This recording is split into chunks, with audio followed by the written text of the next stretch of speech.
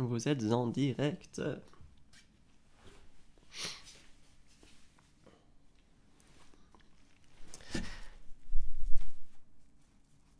Bonjour. Bonjour à tous. Je vais, même si il n'y a personne pour le moment, je vais tout de suite parler un petit peu de ce qu'on va faire dans ce direct pour euh, justement parler euh, euh, aux personnes qui verraient le direct en rediffusion par la suite, vu que je vais laisser la, la rediffusion. J'ai un livre en fait que j'ai depuis de nombreuses années, parce que c'est un livre que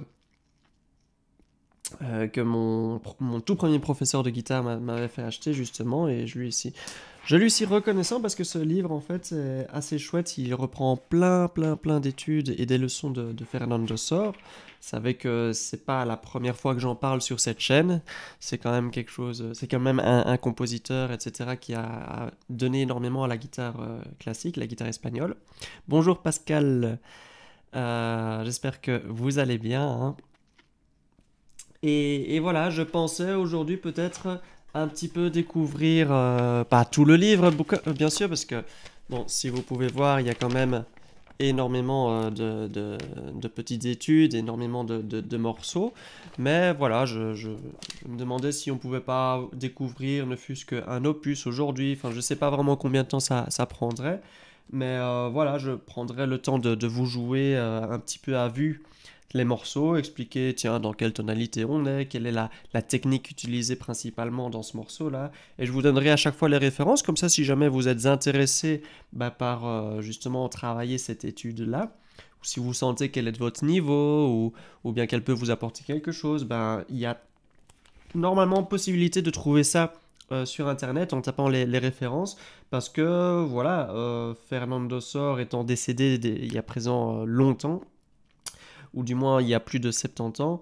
Euh, il y a de nombreuses œuvres euh, à lui qui euh, sont libres, même au niveau de l'édition, donc des gens qui, qui retranscrivent, on va dire, les, les études et les leçons et, qui les laissent disponibles sur Internet. Donc je vous donnerai à chaque fois l'opus et le numéro de la leçon ou de l'étude, comme ça vous, vous pourrez un petit peu savoir. Je dire bonjour à Michel, bonjour Will. Salut, j'ai commencé les cours de guitare cette année, tes vidéos m'ont beaucoup aidé. Ben avec plaisir, hein, Will. Alors même si on est ici dans, dans la, thématique de Fernando Sor. Si vous avez, voilà, si vous rencontrez un problème en ce moment en guitare et que euh, bah, vous avez besoin d'un petit peu d'aide, euh, bon, premièrement, peut-être aller voir si jamais il y avait une vidéo ou quoi qui est disponible sur ma chaîne qui parle du sujet, parce que ça arrive souvent. On me dit, tiens, comment est-ce qu'on fait par exemple une harmonique? Et au, final, en fait, j'avais déjà fait une vidéo sur le sujet, donc allez peut-être vite regarder euh, sur la chaîne si jamais euh, il y, a, quelque chose qui vous pose problème. Et si vous ne rencontrez rien à ce sujet-là, vous pouvez toujours me demander. je parle un petit peu du nez, je crois que j'ai un j'ai pris un petit froid cette nuit, donc euh, désolé si je me mouche ou même si j'éternue, j'espère que ça vous surprendra pas. Euh, Zin et la Bidine Nourala Laraki, quel nom si complexe. Je vous admire, vous êtes très didactique, merci beaucoup, c'est très gentil. Mais sans vous, sans vous, je ne ferais pas ça, bien sûr, hein. donc euh, vous êtes aussi ma source de motivation. Donc je vous remercie, à vous, bien sûr, hein, qui, qui regardez. Allez, on va tout de suite passer dans le vif du sujet. J'y ai pas encore joué de guitare aujourd'hui. Je vais juste vérifier si euh, au niveau de l'écran on voit bien tout concernant la guitare. Dites-moi aussi hein, si au niveau du son la voix est trop faible, la, guitare est trop fort. Je peux changer tout ça. Voilà. Donc, comme je, l'avais dit en tout début, hein, il y a quelques minutes, euh, je vais simplement jouer.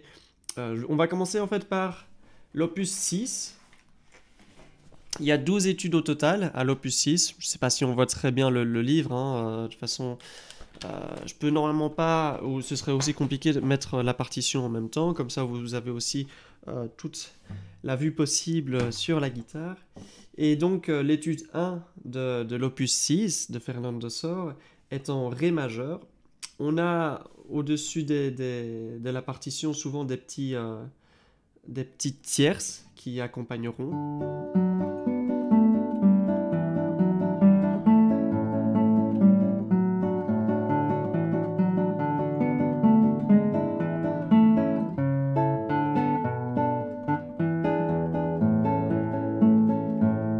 Voilà, j'ai joué les huit premières mesures. Ok, le son est parfait, on me dit parfait, super. Voilà, je, je, je, me dégage un petit peu le nez. Et euh, je vous ai joué là les, huit premières mesures. Simplement, vous avez remarqué que la, la, ligne mélodique, elle est surtout dans les basses.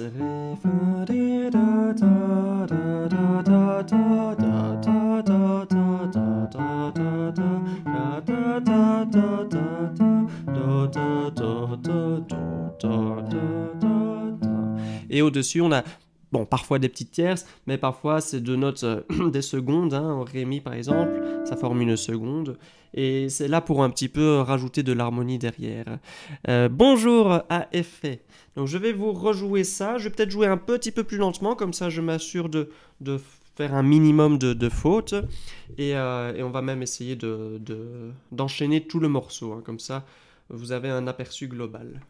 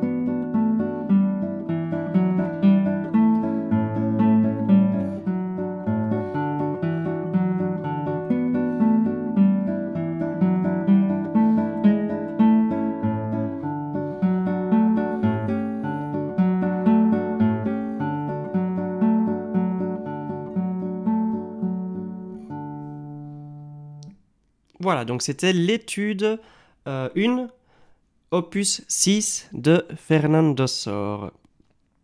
Bonne écoute à tous et je regarderai en replay boulot oblige. Pas de problème Michel. Euh, bah, bon boulot du coup. Hein. Et tu es de quelle origine? J'ai un petit accent. Alors aujourd'hui, je l'expliquais, hein, j'ai le nez qui est un petit peu bouché, donc c'est possible que mon accent soit encore plus accentué.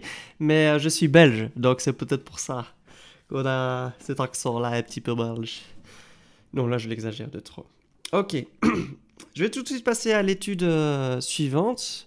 Euh, j'espère qu'on voit bien mes, mes doigts ou euh, voilà qu'il n'y a pas quelque chose qui soit caché. Je le réexplique, hein, la partition bien sûr je ne vais pas la mettre. Techniquement c'est un petit peu compliqué et, et je ne suis pas sûr que je puisse justement cette édition là hein, en particulier la, mettre comme ça en ligne gratuitement. J'espère que tu vas nous jouer la très belle étude en si mineur. Alors, je ne sais pas si je l'ai ici. Si tu as les références, Pascal, parce qu'il il me faudrait aussi l'opus, euh, n'hésite pas à euh, me le dire. Ou peut-être elle serait ici enfin. Non, ça c'est des exercices. Parce que je ne suis pas sûr en fait que ce, bouquin-là, hein, ce recueil, euh, reprenne totalement toutes les, études et les leçons de, de Fernando. Mais je vois très bien de quelle étude tu parles parce que je l'ai moi-même euh, travaillé. Ah, je l'ai ici. Donc, c'est. Hop là. Euh, opus 35, étude numéro 22.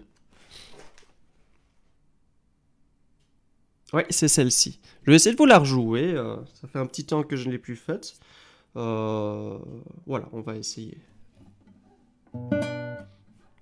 Ça commence bien.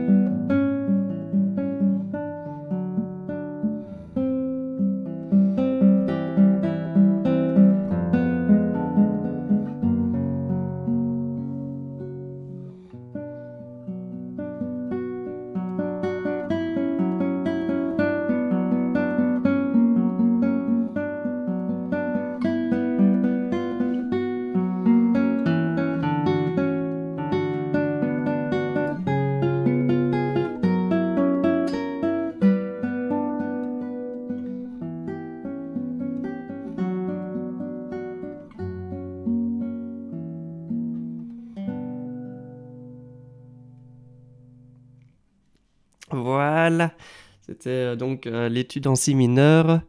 ah, on me dit numéro 5. Ici, j'ai noté j'ai noté, enfin, j'ai dans le livre, j'ai l'étude numéro 22, opus 35. Donc, c'est peut-être pas la même étude en, si mineur. Dis-moi, Pascal, hein, si c'était justement celle-ci. Ah, apparemment, c'était celle-ci, vu qu'on me dit merci beaucoup. Ok. Euh, Jérôme a une question pour la main droite. On joue majoritairement face à la rosace, mais je vois d'autres guitaristes s'amuser à monter ou descendre la main. Exactement.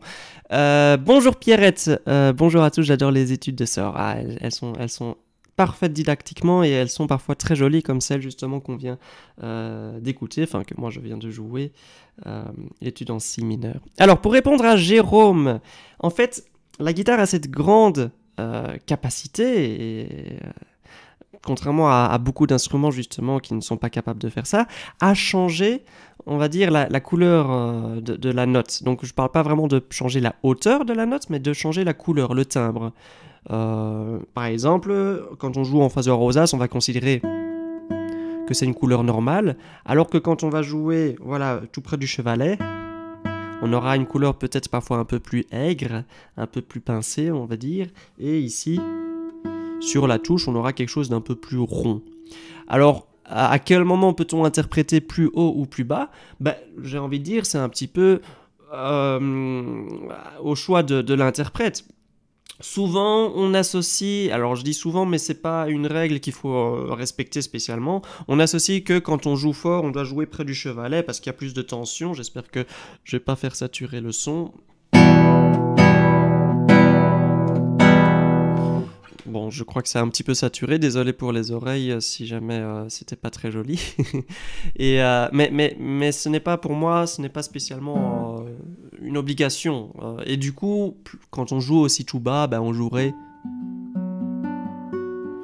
dans une couleur un petit peu plus douce. J'ai envie de dire, ça dépend de qu'est-ce qu'on a envie de faire avec la musique. Euh, S'il y a un moment où on sait qu'il y a de la tension, on peut créer de la tension en changeant la couleur, mais bêtement, on peut la changer aussi rien qu'avec la nuance. Donc il n'y a pas de, règle d'or pour euh, à quel moment peut-on interpréter plus haut ou plus bas. Mais ce qui est important en tant que guitariste, c'est de ne pas oublier qu'on a ces outils-là. De ne pas jouer un morceau euh, toujours en face de la rosace euh, et, ne jamais changer de couleur. C'est toujours intéressant de, voilà, de varier la couleur. Bien. Alors on va continuer, donc je vais reprendre l'opus 6, hein, donc c'est le début ici de mon livre, et je vais jouer l'étude numéro 2 qui est en La majeur cette fois. Contrairement à l'étude 1 que j'ai joué en tout début de, de direct, ici euh, on aura je pense la mélodie dans les aigus et l'accompagnement en tierce en dessous. Donc dans les, je, refais juste le début de l'étude 1 pour que vous vous souveniez.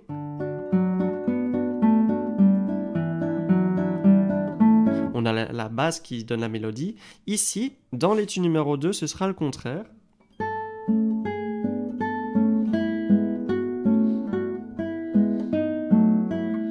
On a plutôt, pardon pour la, petite faute, euh, on a plutôt la, mélodie qui est située dans les aigus.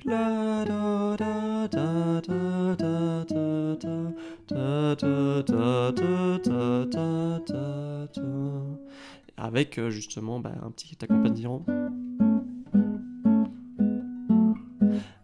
à vrai dire, en jouant ici juste euh, l'accompagnement en dessous, ça forme un petit peu une mélodie, hein. ça forme un petit peu quelque chose qui répond, on va dire, à, la ligne mélodique pardon, du, dessus. Hein.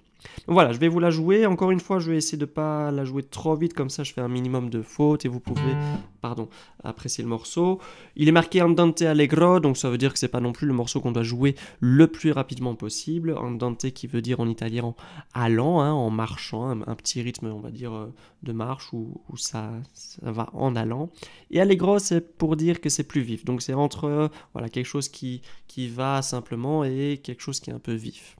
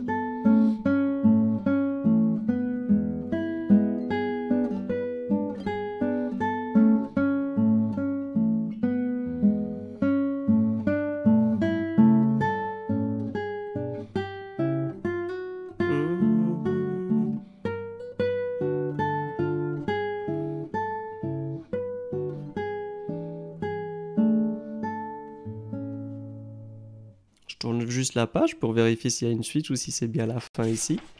Non, c'était bien la fin.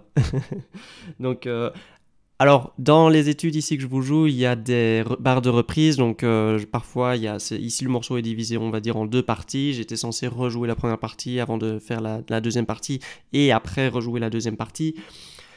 Je ne le fais pas parce que, voilà, j'estime qu'on est là juste pour découvrir, lire un petit peu à vue. Euh, donc voilà, cette étude était l'étude numéro 2, opus 6 de Fernando Sor. Encore une fois, si vous êtes intéressé par l'œuvre, n'hésitez pas à taper sur euh, internet ou quoi, euh, ça se trouve, vous aurez la partition disponible facilement.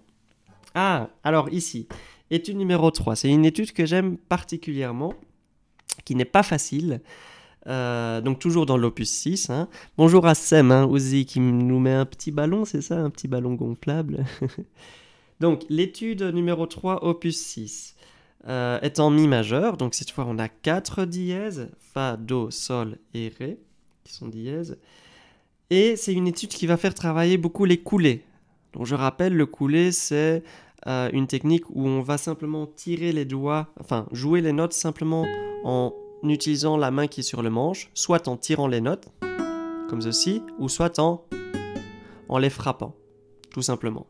Si vous n'êtes pas du tout familier avec cette technique et que vous voulez justement l'apprendre, j'ai fait deux vidéos dessus. Vous tapez sur euh, YouTube autour de la rosace les coulées. Et il y a donc une vidéo qui euh, explique le coulé tiré, hein, donc là où on, tire les cordes euh, pour produire le son, et les coulées frappées où là on va frapper euh, les, notes avec les doigts. Donc, comme je le disais, cette étude numéro 3, euh, elle est là pour vraiment développer tout ce qui est coulé. Euh, je vais tout de suite vous le jouer. et je n'ai rien à dire, sauf que un moment donné, c'est vrai, on a une partie B du morceau où on n'est plus en mi majeur, on passe en mi mineur. Donc c'est le ton direct on était en mi majeur et on passe en mi mineur. Donc vous verrez que d'un coup la couleur devient un peu plus tragique, hein, un peu plus euh, euh, peut-être nostalgique. Enfin ça chacun le ressent à sa manière. Et euh, donc ça ce sera la partie B et à la fin on reviendra à la partie A. Donc je vais essayer de vous jouer ça sans trop de fautes bien sûr.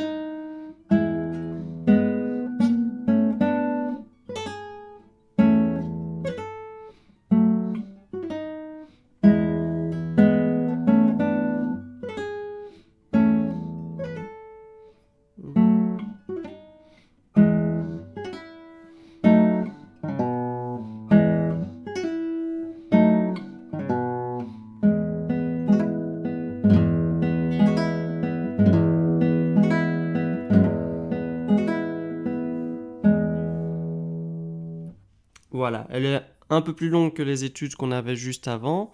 Euh, maintenant, je ne l'ai pas joué spécialement vite. Il y a moyen pour se challenger de le jouer un peu plus vite.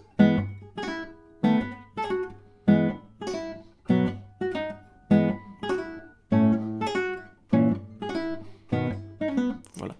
Et, euh, et du coup, ça devient challengeant. Ça, ça paraît moins long du coup. Mais, euh, mais voilà. Je vous avoue que j'étais parfois un petit peu perdu dans la partition, je connais pas par cœur, donc euh, je me trompais de ligne, euh, et du coup je me trompais d'altération aussi. Mais, euh, mais voilà, ça vous donne un aperçu, et, pour moi cette étude elle est excellente pour travailler tout ce qui est coulé, justement. Donc étude numéro 3, opus 6 de Fernando Sor. Pascal, bonne continuation, je regarderai la suite en différé, merci pour l'étude en si mineur. Avec plaisir Pascal, merci d'être passé hein, et d'être venu dire bonjour, c'est gentil. Ok, ben je vais passer à l'étude numéro 4, Allegretto, hein, c'est le, mouvement. Toujours opus 6, hein, je... ah, on va peut-être pas faire euh, d'autres opus. Ou alors j'irai peut-être pas faire tout l'opus 6, mais euh, si je vois qu'il y en a certaines en particulier qui sont chouettes à travailler euh, dans d'autres opus, je vous les jouerai rapidement.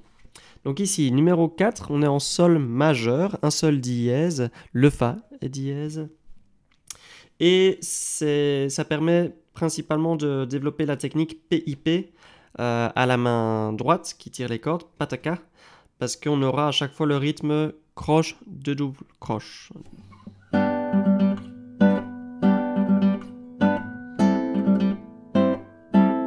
J'espère qu'on voit bien, je vais vite vérifier si on voit bien quand même ma main droite. Ouais, pas, pas des masses, hein. je vais un peu me reculer. Voilà, on verra un petit peu mieux ma main droite comme ça. Je vais essayer d'éviter de jouer près du, chevalet, sinon on verra pas vraiment le, mouvement. Donc je vous joue ça. Euh, en plus des petits PIP que je vous ai dit qu'on joue, il y a des accords qui sont plaqués.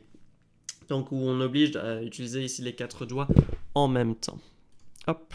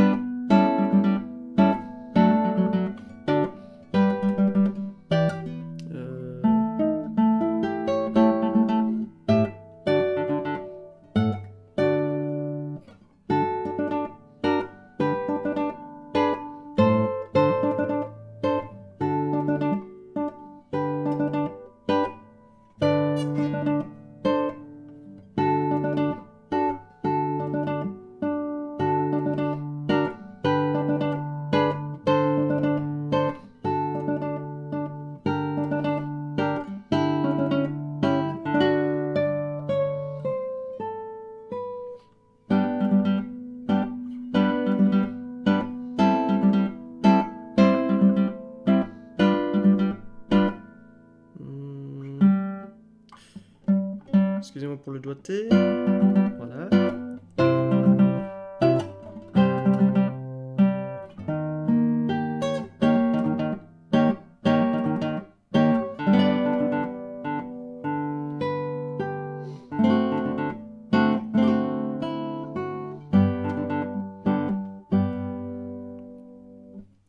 Donc tout ça c'est de la lecture à vue. enfin, je les ai peut-être joués une fois pour m'échauffer euh, il y a, quoi, il y a un mois ou des trucs dans le genre. De temps en temps, je me sers justement de ce bouquin-là pour m'échauffer un petit peu. Euh, mais du coup, certaines positions d'accord avec des altérations, ça demande parfois une petite seconde ou deux petites secondes d'analyse juste avant de le faire et pour être sûr de ne pas faire euh, justement de fautes. J'ai envie de re- refaire un petit peu cette deuxième partie-là.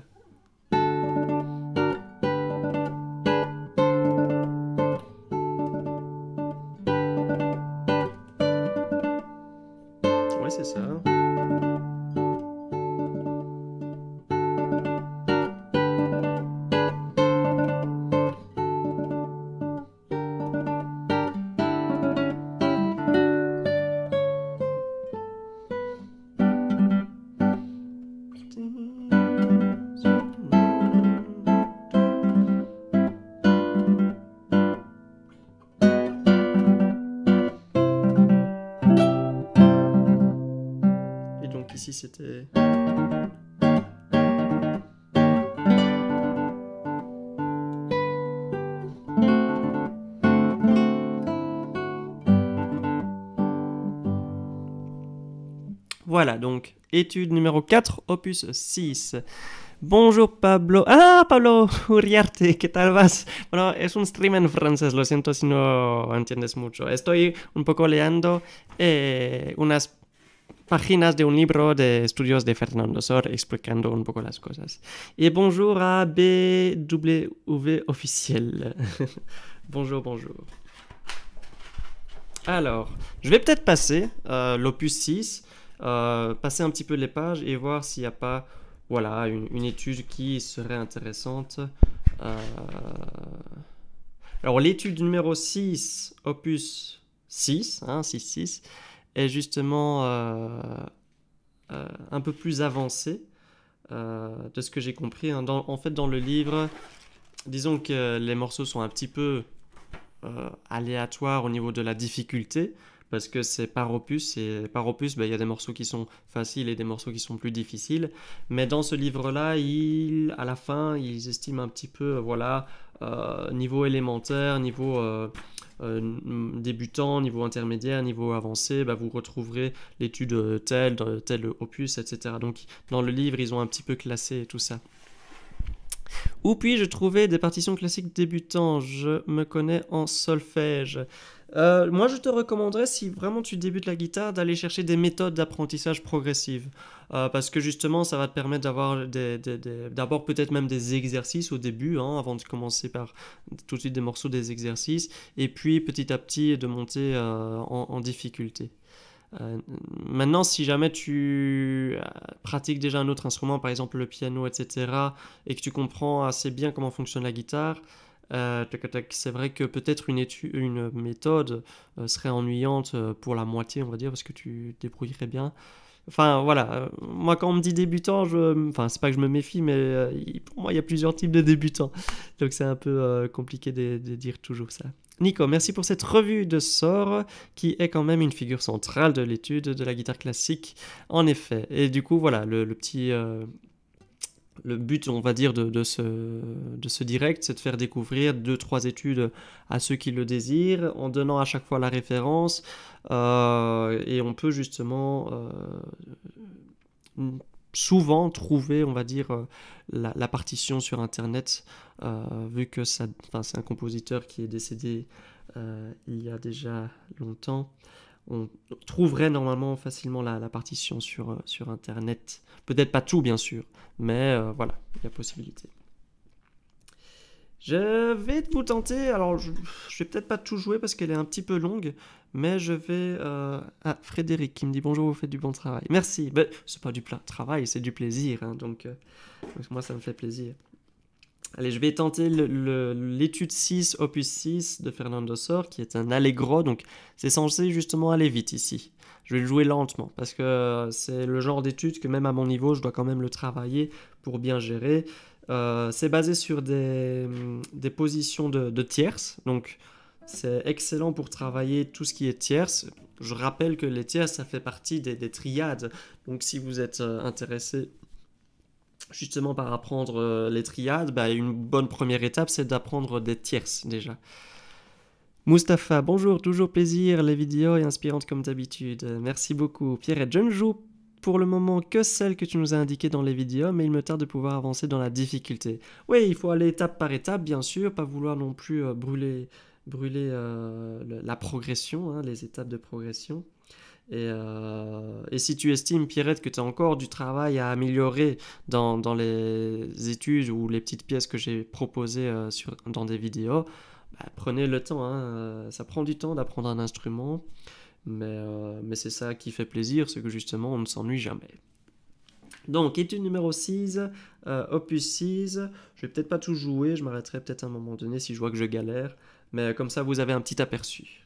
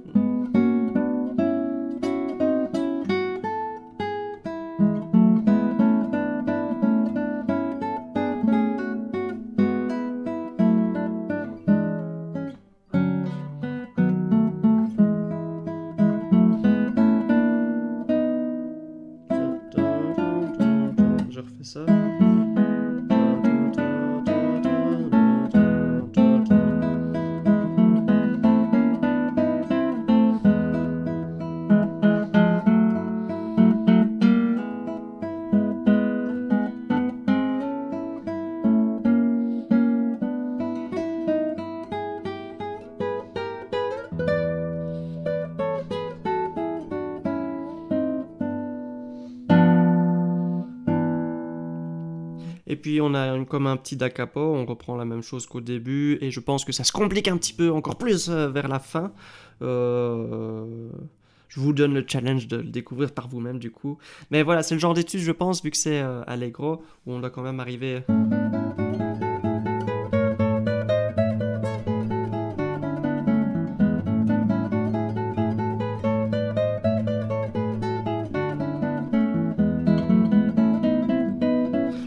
Petit peu cette vitesse-là. Donc, euh, il y a- c'est bien de, travailler les études lentement, bien sûr, mais si on vous donne justement euh, l'objectif d'avoir euh, un, tempo allegro, qui veut dire en, en italien vif, euh, c'est justement que le, but, on va dire, c'est d'arriver à, jouer l'étude de manière assez rapide. Ok, on va encore passer les pages. On a encore ici une étude 7 euh, en allegro. Je peux vous jouer un petit bout. Alors ici, parfois, vous avez dans des partitions un petit 6 entouré égale D. Ça veut simplement dire que la sixième corde, ici, on va la mettre un ton plus bas. On va la mettre pour que ça sonne comme un, un Ré. Voilà. Vous voyez que je joue ma sixième corde et ma quatrième corde.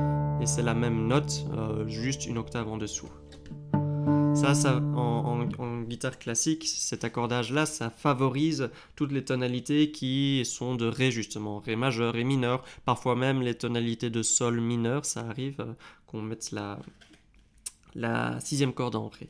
Donc étude numéro 7, euh, opus 6. Je vous joue encore une fois, on va dire le début, peut-être la première partie. Euh, et on va travailler non seulement des, des coulées et des petites ornementations, donc donc on passe vite sur une note et on revient à la note d'avant, et puis on- on- il y a des, petites montées de, de tierces. Je vous laisse l'écouter, hein, rien ne parle mieux que de la musique elle-même.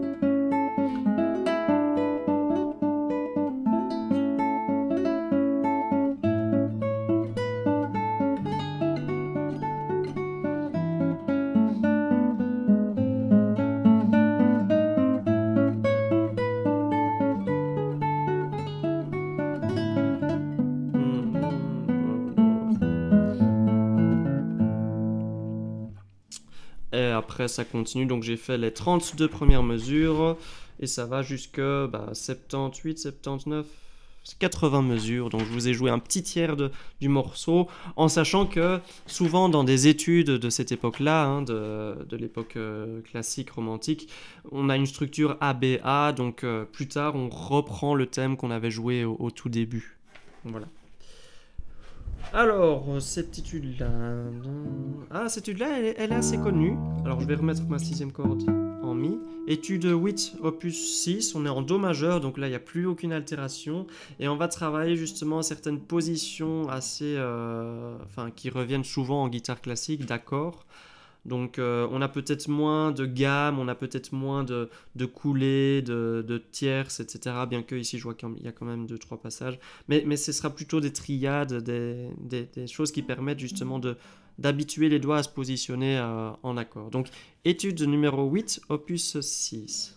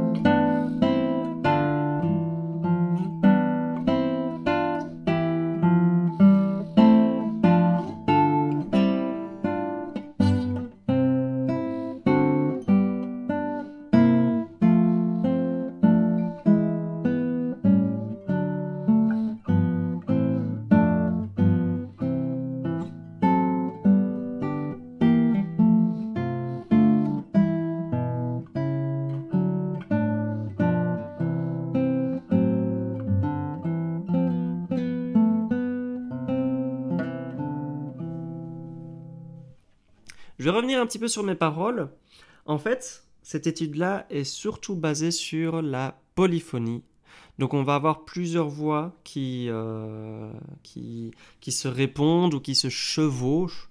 Euh, je vais essayer de prendre un petit exemple ici. Mesure 6, j'ai...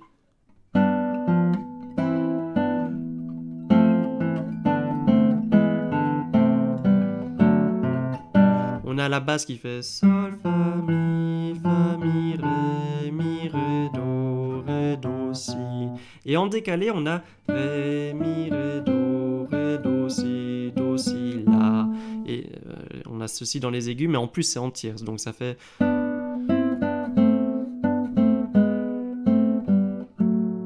Il y a un petit sol dièse qui est surprenant, mais c'est parce qu'on est dans, dans une harmonie de mi majeur à ce moment-là. Donc si je vous rejoue tout, alors je suis un petit peu embêté parce qu'il y a deux propositions de doigté et je suis en train de les mélanger tous les deux. Donc je vais essayer de trouver.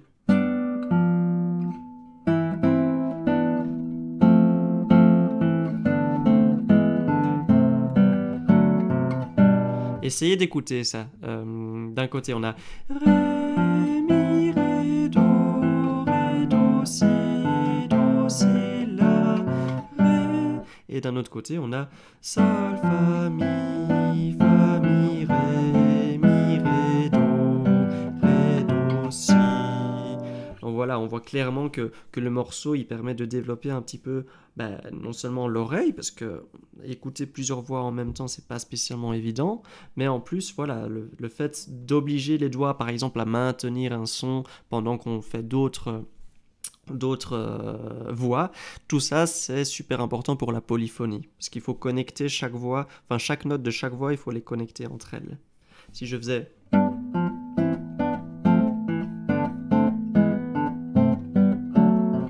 on aurait déjà un petit peu plus du mal à, comprendre, ah oui, on a une voix au-dessus et on a une voix en dessous qui se chevauchent. Voilà, donc ça c'était l'é- l'étude numéro 8, opus 6 de Fernando Sor. Pour développer tout ce qui est polyphonie, c'est euh, c'est une très très très bonne étude. En plus, elle reste généralement dans les positions hautes du manche, donc ça veut dire qu'on ne va pas aller chercher des notes peut-être que vous ne connaissez pas en bas du manche. Et elle est assez compliquée parce qu'on va justement jouer plusieurs voix en même temps, donc au niveau de la main gauche, ce sera assez complexe. Alors, l'étude numéro 9, euh, opus 6, c'est une étude basée sur des sixtes avec la corde en, sixième, en, en, Ré, je vais pas la faire. Je vais plutôt faire l'étude numéro 10 ici. L'étude numéro 10, opus 6, qui reprend en fait la technique des octaves, des octaves. Donc, euh, une octave, par exemple, je joue un Do en dessous, bah après je vais jouer le Do au-dessus. Ou bien en même temps, ou bien en séparant, ça c'est comme vous voulez. Ici dans l'étude, c'est plutôt en, séparant l'un et puis l'autre. Donc euh, je vais essayer de vous jouer ça. C'est des double croche en moderato, donc ça va quand même assez euh, vite, mais non plus, c'est pas non plus allegro, donc c'est pas non plus le plus vite qu'on le peut, ni presto. Donc je vais essayer de jouer ça correctement. Ah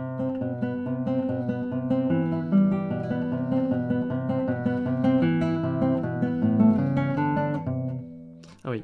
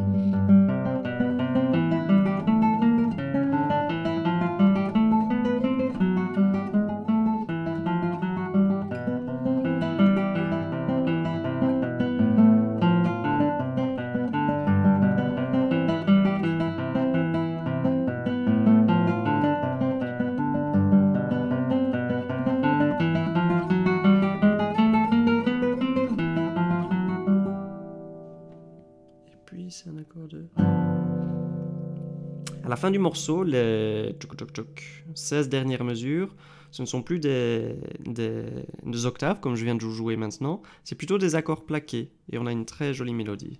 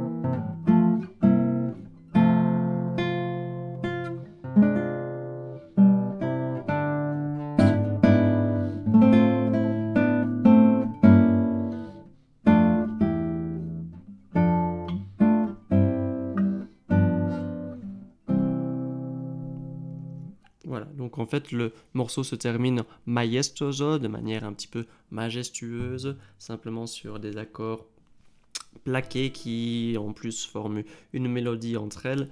Là encore une fois, c'est un passage qui est clairement polyphonique. On a plusieurs voix qui se chevauchent, qui se, qui se répondent, etc. Hop là.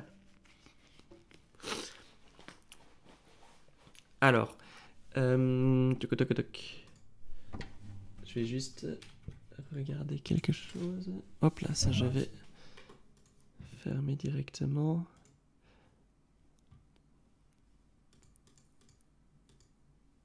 Voilà.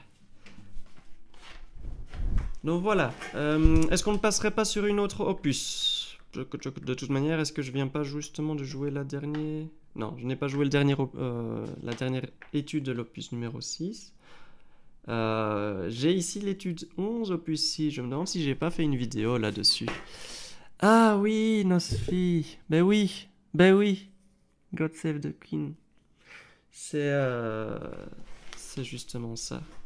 Ah, je, pense que je suis pas assez euh, bon en culture générale, mais je pense en effet que tu as raison par rapport à ça. Donc le thème qu'on entend à la fin de l'étude 10, euh, opus 6 de Fernando Sor, serait God, Save the Queen. Merci pour la précision.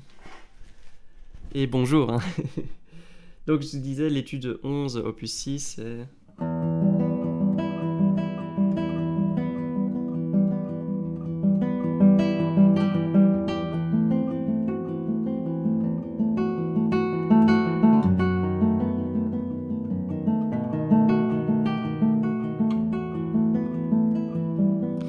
pense que j'ai déjà fait une, vidéo dessus. En tout cas, je, suis sûr d'avoir fait une vidéo sur une étude en mi mineur avec des arpèges euh, comme celle-ci de Fernando Sor. Donc c'est probablement celle-là, maintenant c'est possible que ce soit une autre.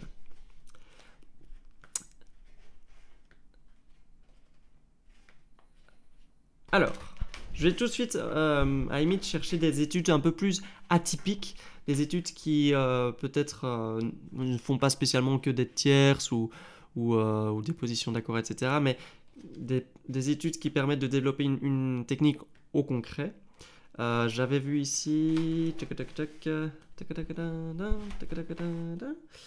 une étude, voilà, que j'avais travaillé. Ah, c'est bien, j'ai les dates de mon professeur. J'avais travaillé cette étude-là en 2018. Donc j'ai travaillé cette étude-là il y a 11 ans. Et je vous la rejoue euh, aujourd'hui en, direct. Alors, je vous la rejoue, mais un petit peu en lecture à vue, hein, parce que ça fait 11 ans justement que je l'ai pu travailler. Euh, c'est une technique qui permet un petit peu d'améliorer la rapidité de la main droite, l'explosivité, parce qu'on va jouer 5 notes rapidement. 1, 2, 3, 4, 5. Euh, alors le doigté écrit sur la partition c'est A, I, M, I, M. Euh, mais il y a d'autres possibilités. Ils disent on peut faire P, I, P, I, P ou bien A, M, I, M, A. Et moi je crois que je fais justement A, M, I, M, A ou A, M, I, M, I. Ah, ah, je fais A, M, I, M, I. Donc A, M, I, M, I. Et puis on a un accord et puis on refait euh, le geste. Je vous le joue. Donc c'est pour euh, donner la référence, hein, c'est la leçon numéro 19, opus 31 de Fernando Sor.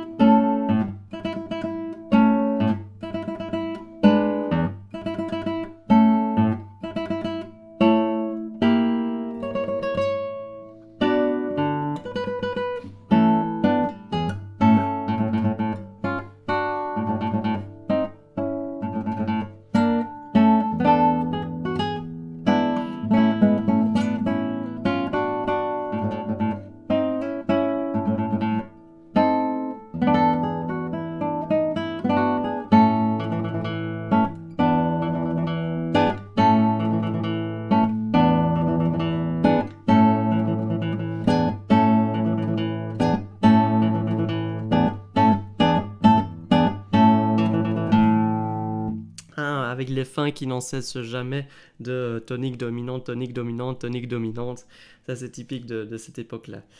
Oui, euh, je pense que ça me ferait du bien de, le travailler un petit peu de temps en temps sur le côté. J'ai été surpris de certaines, euh, harmonies. euh, donc, malgré que j'ai joué ça il y a 11 ans, c'est pas spécialement si évident de, de le rejouer comme ça à vue. Ici on a, oui, ça je vais peut-être pas jouer la, leçon 20, numéro, enfin la leçon 20 opus 31. C'est encore euh, une pièce que j'ai travaillée. J'ai pas la date là, donc je sais pas vraiment euh, quand j'ai travaillé. C'est sur des accords plaqués.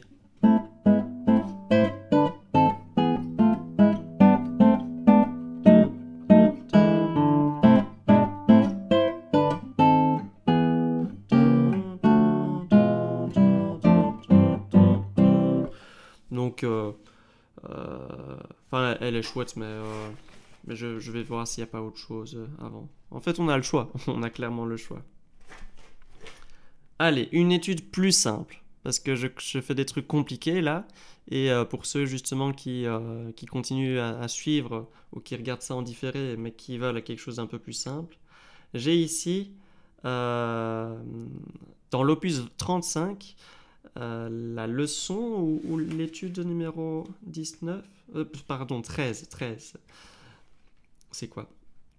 Donc ça vient du, livre, euh, du deuxième livre des euh, 24 exercices faciles, opus 35.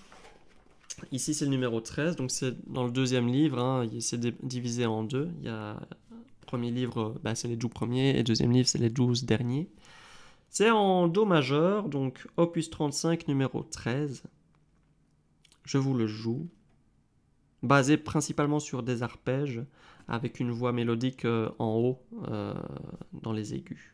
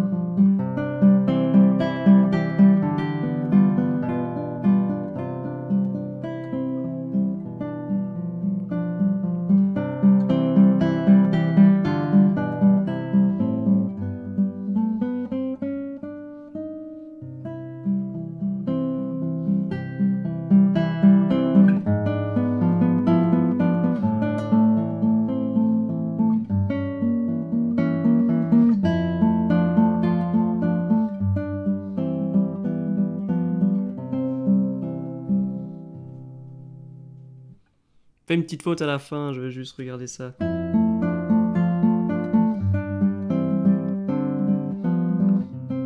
Ouais, j'avais changé les aigus au lieu de changer les basses.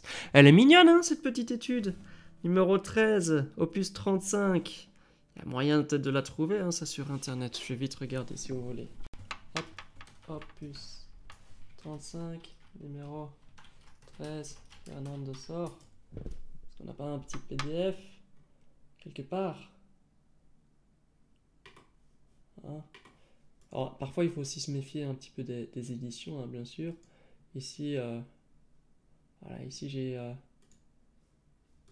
ce free sheet, free sheet. Euh, peut-être ailleurs.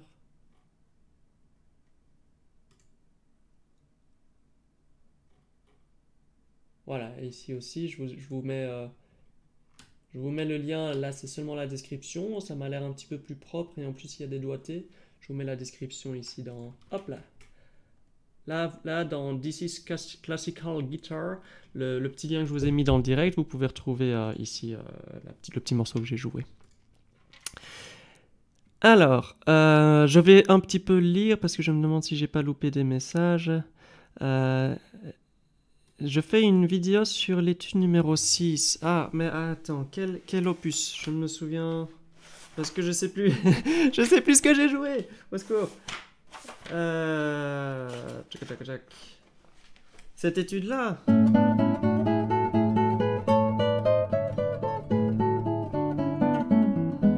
Parce que c'était justement, euh, c'était un, justement une des études qui était un peu compliquée, hein, euh, pour ne pas mentir. Euh, ou je sais pas si ça touchera justement euh, beaucoup de monde. C'était peut-être une autre opus, hein, j'espère que c'était pas une autre opus. Là j'avais 19. Ah, j'avais fait sur la leçon numéro 6, opus 31. Donc ça j'avais fait une vidéo, c'est vrai, sur euh, l'opus 31, numéro... leçon numéro 6. Alors Effet, tu me conseilles de faire quoi? À la guitare, sachant que j'ai une guitare électrique et j'en fais depuis deux ans et demi avec un prof privé. Donc, euh, tu me conseilles de faire quoi à la guitare? Donc à la guitare électrique, vu que tu as une guitare électrique. Euh, bah, je ne peux pas vraiment te conseiller.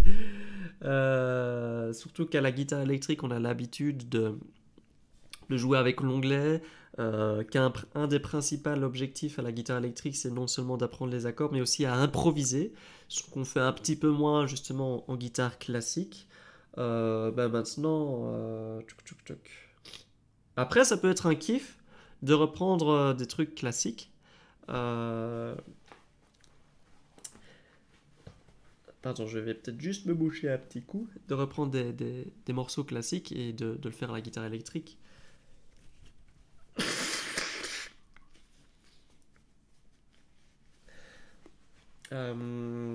Moi, j'ai j'ai un truc que je voulais faire, c'était euh, la cathédrale de Agustin Barrios en guitare électrique. Je suis sûr que ça peut donner quelque chose de bien.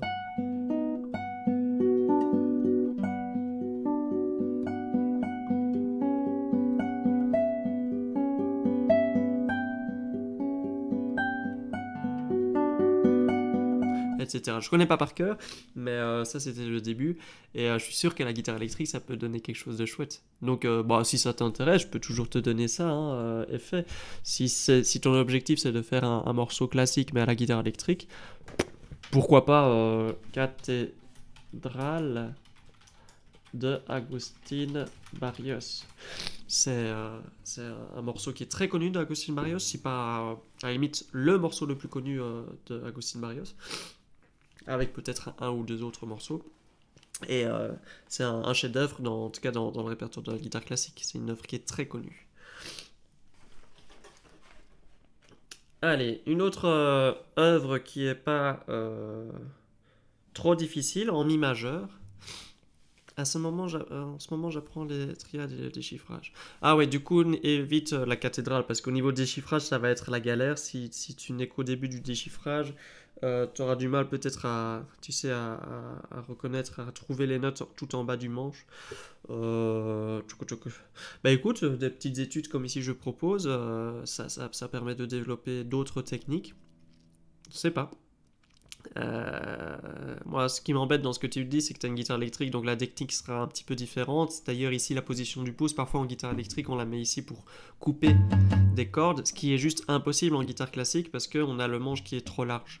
Donc, euh, faire ceci, c'est trop contraignant, on va dire, pour, euh, pour jouer des, des morceaux de musique. Donc, oui, leçon numéro 7, opus 31. Je vais les faire un petit peu dans l'ordre, euh, dans le, dans le hasard, on va dire.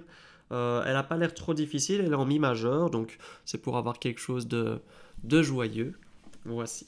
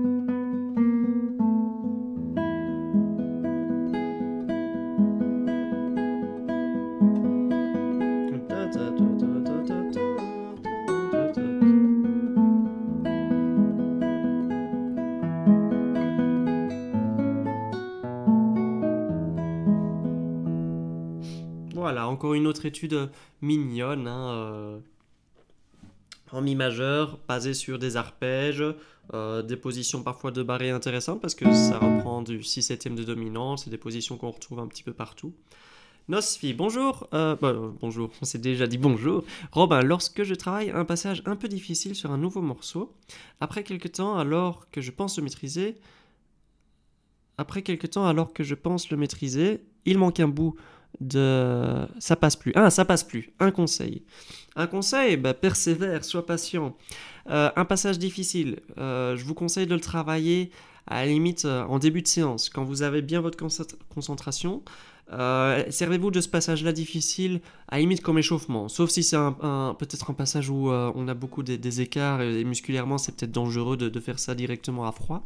Mais si par exemple c'est une gamme, euh, je sais pas, je, prends moi l'exemple, je joue dans un morceau, un passage assez rapide, et je, galère parfois à le jouer. Mais je le fais du coup en échauffement. Euh, parce que c'est pas spécialement un passage qui, qui, est difficile musculairement et je le fais lentement comme ça j'habitue vraiment chaque doigt d'aller correctement du point A au point B et d'optimiser on va dire les mouvements dans des passages difficiles il faut vraiment penser à ça optimiser les mouvements et du coup bah, il faut un petit peu automatiser les gestes euh, musculairement comme ça on libère un petit peu le cerveau hein. il y, a, moins de choses à, laquelle il faut penser donc moi par exemple, je vais vous jouer le passage justement difficile tant qu'à faire, comme ça vous voyez un petit peu qu'est-ce que je travaille en ce moment. C'est euh, la dernière page de Andante polonaise, euh, opus, je ne me souviens plus, de Napoléon Coste, mais si vous tapez juste Andante polonaise de Napoléon Coste, vous trouverez. Et c'est un più mosso, donc ça va beaucoup plus vite.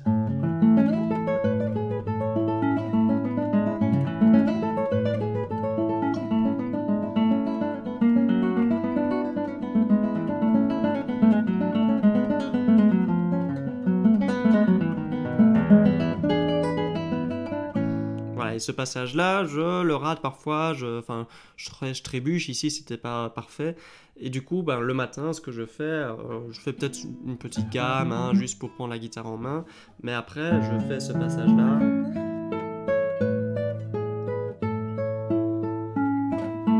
À cette vitesse-là, pas plus vite, en vérifiant bien que chaque mouvement que je joue soit optimisé qui n'est pas spécialement un mouvement que je fais sur le côté ou un doigt qui, qui se balade ailleurs alors qu'il n'est pas censé se faire. Donc, donc voilà, et, et, malheureusement ça se fait pas en un jour ni en une semaine. Si le passage est vraiment difficile, ça prendra parfois plusieurs mois même, d'accord? Euh, Je me souviens, il y a un passage aussi, je crois que le passage le plus... Euh, que j'ai travaillé le plus en guitare, c'est euh, c'est un passage de la sonate de Nikita Koshkin.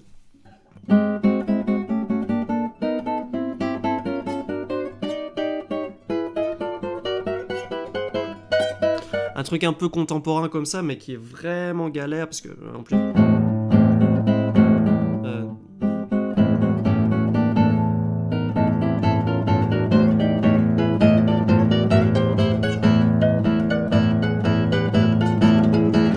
Ça ressemble déjà pas à grand chose à l'écriture, mais si en plus je joue mal, ça ressemble encore moins à quelque chose. Et, euh, voilà, c'est le genre de passage là où même après l'avoir travaillé des années, euh, ça passe limite limite. Donc c'est le genre de passage où oui, ça prend du temps, mais il faut persévérer.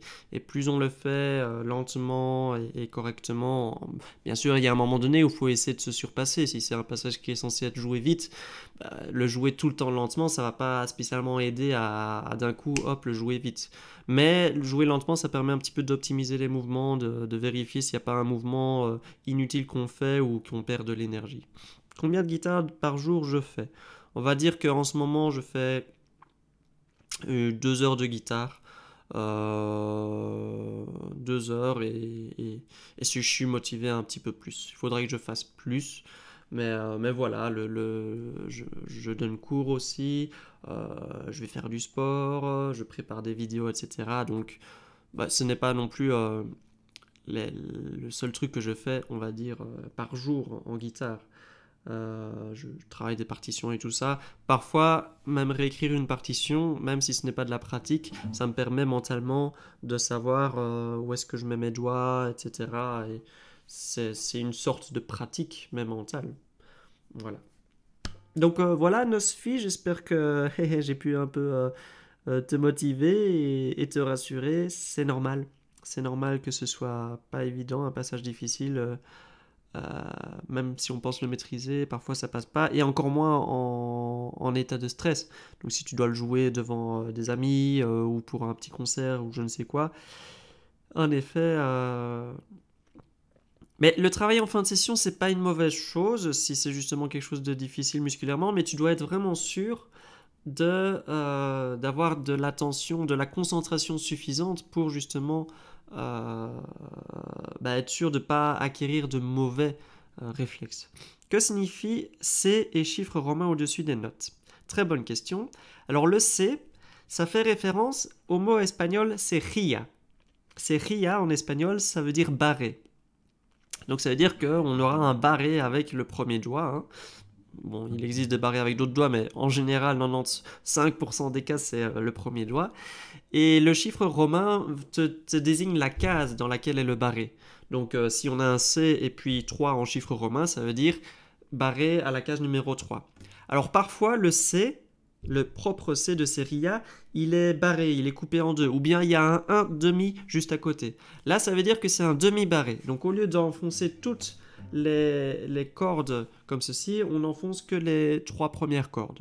Donc voilà, ça c'est pour la question. Le C c'est RIA, donc barré, et le chiffre romain c'est euh, le numéro de la case. Alors, on va rejouer une petite étude.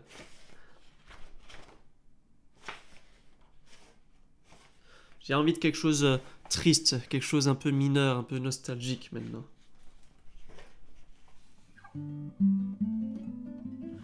Non, là, on n'y est pas du tout, c'est quelque chose de trop joyeux. Mhm.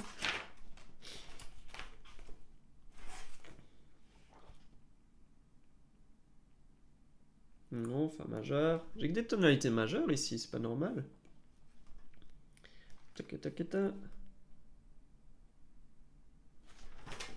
Ah, peut-être ceci. Donc je vais jouer, c'est en Ré mineur, il y a un bémol, et souvent on a le Do dièse parce que c'est la sensible qui est montée d'un demi-ton. Et c'est l'étude numéro 16, opus 35 de Fernando Sor.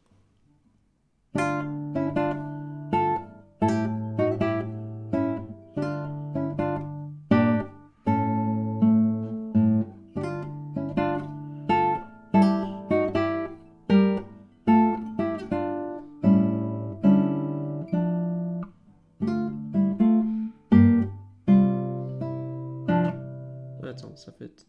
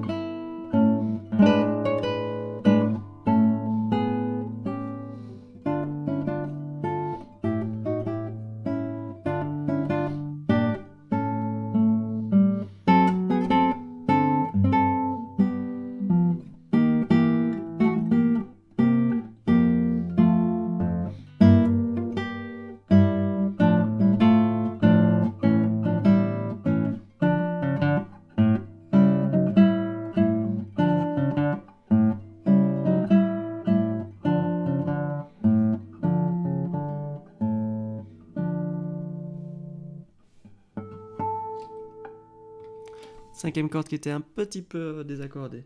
Donc voilà, c'était un moderato. Euh, bon, on allait souvent en tonalité de Fa majeur, donc au final, c'était pas si tragique que ça. Mais, euh, mais voilà. Euh, c'est intéressant pour travailler au début ici les, les petites ornementations, où je, je tire rapidement une même note, et de travailler le rythme, ta, ta, ta, les rythmes un petit peu sautés.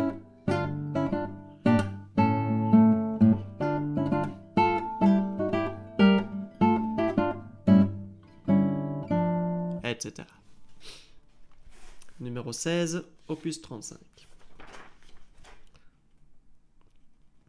Ok. Étude numéro 18, opus 35.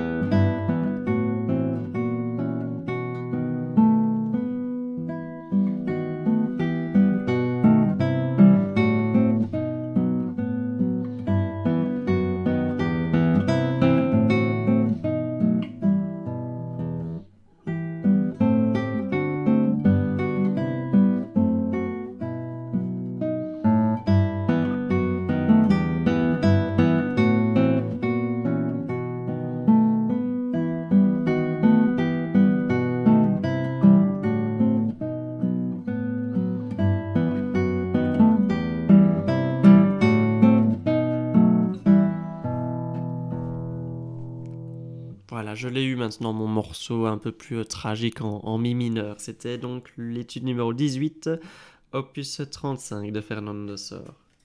Est-ce qu'on ferait pas l'étude numéro 17 que j'ai juste à côté?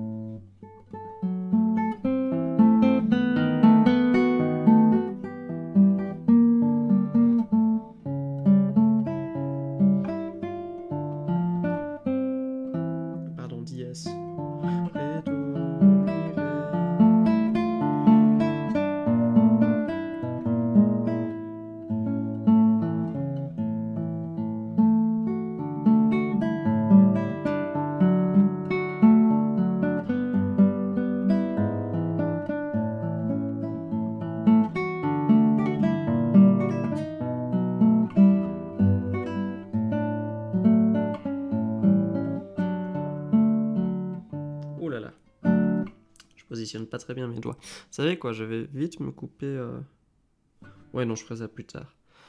Donc, euh, j'aime bien avoir les ongles de la main gauche vraiment très bien coupés comme ça. Je suis sûr, même si je positionne les, doigts vraiment dans l'extrême euh, pointe, je ne risque pas de, de mettre la corde entre l'ongle et le doigt, ou je ne risque pas de toucher le bois de la touche sans faire exprès. À quand un petit morceau de picking? Mais Pascal, si tu en as un euh, sous la main, en PDF, que tu trouves sur Internet, je t'invite à le mettre dans le chat et je peux peut-être euh, le lire. Qu'est-ce qu'on peut avoir?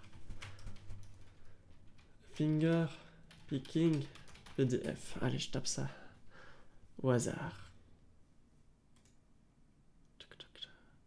Alors, le problème, si c'est des tablatures, je vous avoue que je lis moins bien les tablatures que euh, les, les partitions. Donc, alors ça s'ouvre ici. Ouais, ici c'est simplement des explications, c'est pas des exercices. Il n'y a pas d'exercice. Enfin, il n'y a pas de morceau, pardon. Hop, pareil ici. Je n'ai pas de morceau. Je, je vais regarder. Euh, je crains que... Ah, on a du Tommy Emmanuel ici. Qu'est-ce qu'il nous dit le livre? Basic Finger- picking pattern for stealing.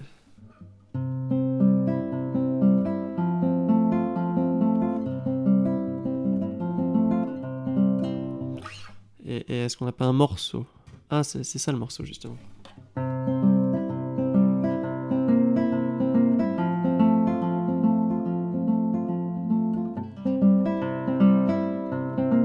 C'est pas toujours la même chose quand même.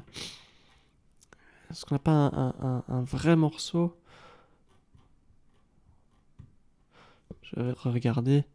Frank Train. Ah ouais.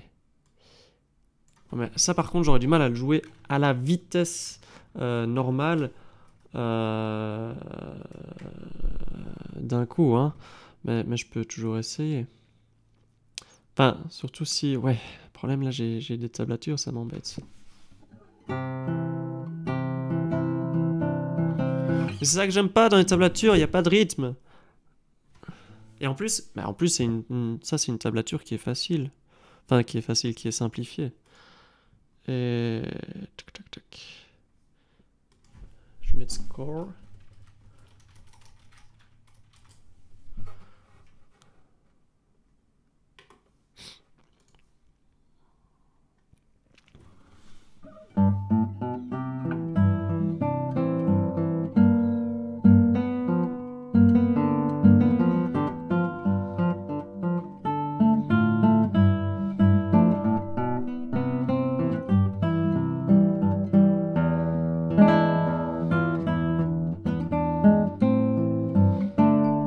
J'ai l'impression qu'il y a 10 000 versions de, ce morceau-là, c'est pas possible. Ouais, ici c'est transcrit par euh, Shen Shin.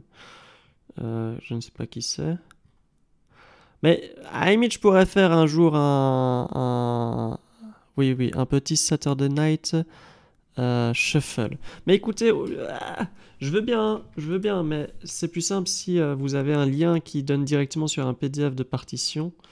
de partition de préférence. Ça fait quoi ça?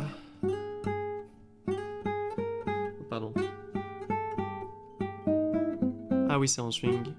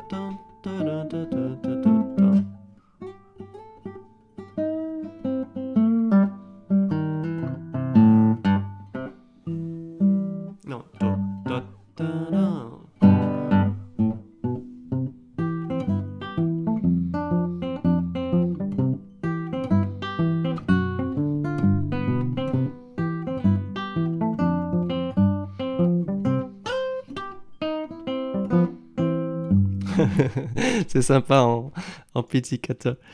Euh, prends la version de Tommy Manuel. Euh, c'est- quoi la version de Tommy Manuel?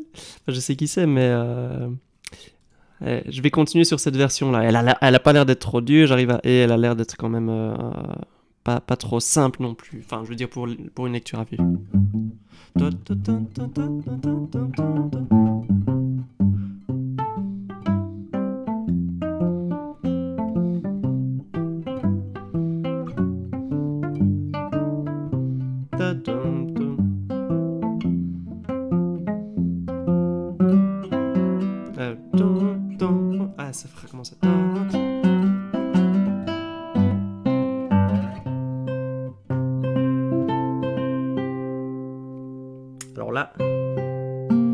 Se complique. Là ça se complique.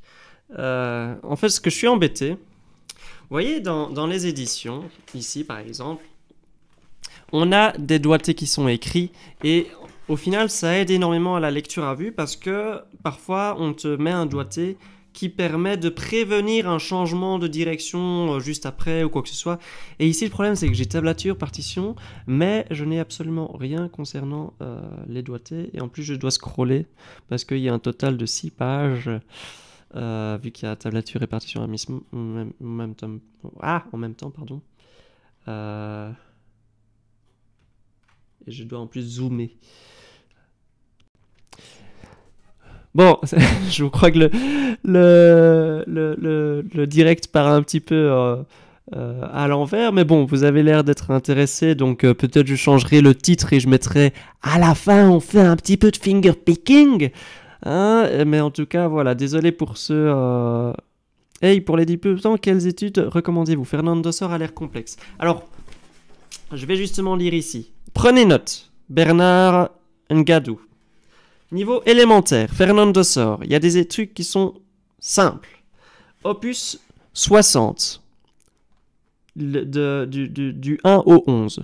Opus 60 du 1 au 11. Opus 44 du 1 au 3. Opus 35 du 1 au 4. Opus 31, 1, 3 et 11. Donc je vais par exemple prendre ici l'opus 35, tant que j'y suis, le 1 au 4. Je vais jouer le 1 de l'opus 35, c'est ceci.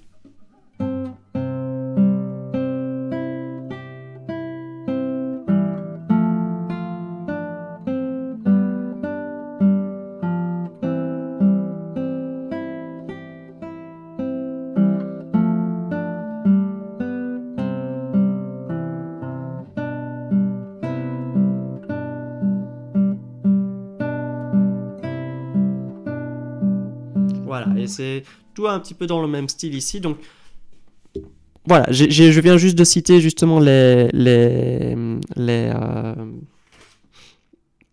les, opus et les numéros. J'espère que tu as pu prendre note, sinon tu reviens un petit peu en arrière. Et, euh, et, voilà, toutes ces, toutes ces petites études et leçons sont pour débutants, celles que j'ai citées. Je ne sais pas envoyer un PDF. Il faut, en fait, il faut pas envoyer le PDF. Il faut juste chercher sur internet le lien qui. Euh, par exemple, moi, j'utilise des liens Dropbox. Donc sur Dropbox, je peux euh, mettre des fichiers et du coup, on crée des liens. On peut partager directement euh, vers ça. Un arrangement de Summertime. C'est mon succès de temps tout jeune. Est-ce que j'ai pas Summertime?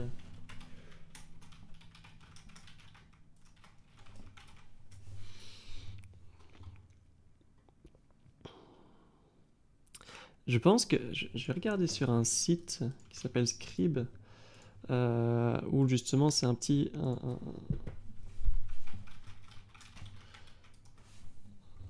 c'est un, site où, euh, où on s'échange des, PDF et tout ça.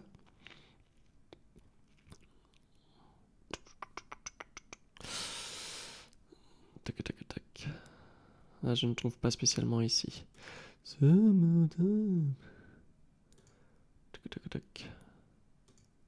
Ouais, non, j'ai que des trucs euh, de classique.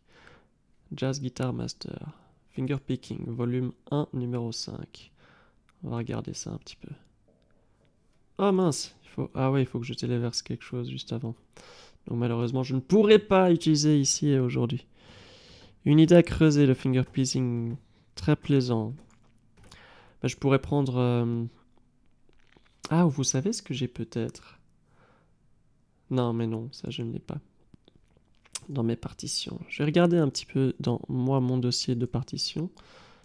Partition. Tchouk, tchouk, tchouk. Est-ce que j'ai pas un truc?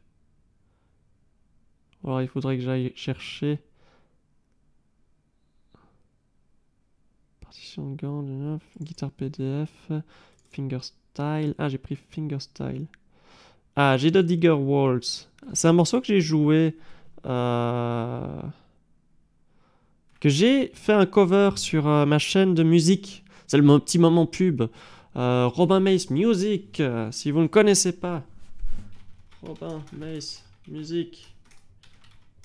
Si vous voulez vraiment des, des, vidéos où je joue directement de la musique, etc., euh, sans explication ni blabla, donc juste écouter et admirer mon jeu, je rigole.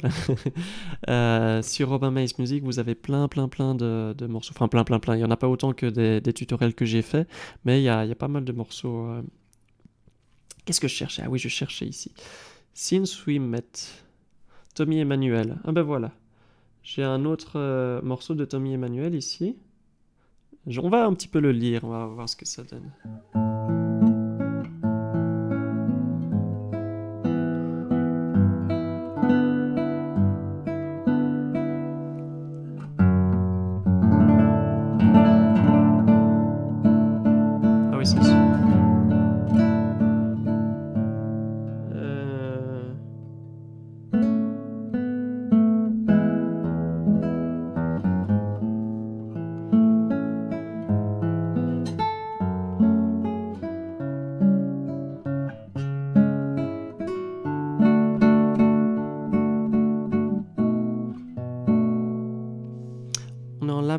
Pas de ré dièse.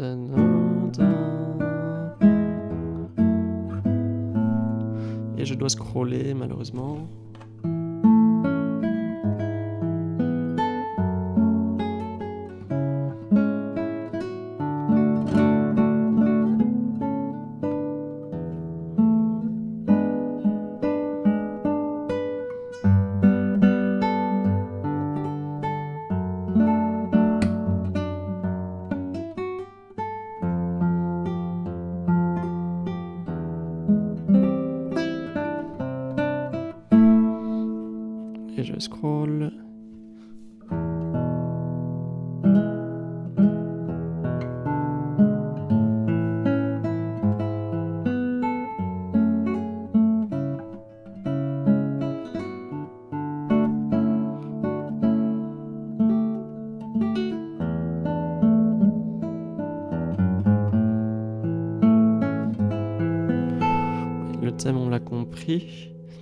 Je fais. En fait, je suis un peu là gêné parce que je fais pas vraiment les choses bien rythmiquement, etc. Euh, Et le fait que je scroll ici.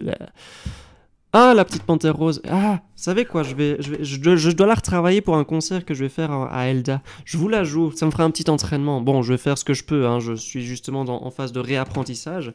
Ah ouais, je vais essayer de la rejouer.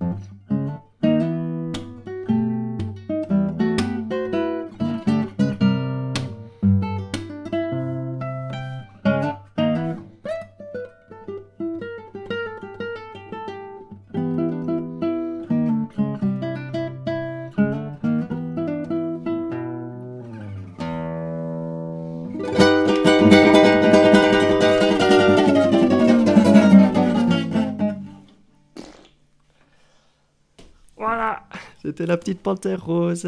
Ah, ça, ça fait du bien de, le rejouer. Moi, c'est un petit entraînement comme ça, de le jouer devant une petite quinzaine de spectateurs. Moi, je suis très friand de ta chaîne musique, je la recommande à tout le monde, c'est une merveille. Merci Pierrette pour ces gentilles paroles. Euh, voilà, voilà. J'aimerais bien continuer le direct, mais euh, en fait, je sais pas vraiment quoi faire. Parce qu'on a quand même vu pas mal, pas mal, pas mal d'études, hein, en- et des petites leçons en, en 1h30. Et, euh, et malheureusement, j'arrive pas vraiment à transitionner ici sur le thème finger euh, picking parce que j'ai pas vraiment de de, morceaux où je suis pas obligé de scroller, vous savez, euh, pour, pour jouer ça. Perso et tes, tes tutos et tes exercices m'aident beaucoup, même si je joue plus en fingerpicking qu'en classique. Merci. Ben, ces deux techniques qui sont quand même reliées. Je veux dire, si vous savez jouer des arpèges en classique, vous aurez plus facile à jouer du fingerpicking et, et inversement, si vous savez faire du fingerpicking, vous aurez facile à utiliser plusieurs doigts pour faire euh, euh, des arpèges en classique. Donc, euh, et, la main gauche, elle, est très, très, très. Enfin, c'est- c'est c'est les deux mêmes, on va dire. Ah, qu'est-ce que je peux bien faire, les amis? Qu'est-ce que je peux bien faire? Beginning Fingerstyle Blues. J'ai ici un document. On va regarder un petit peu s'il n'y a pas euh, des petits trucs à faire. Blues in G. Ça fait quoi ça?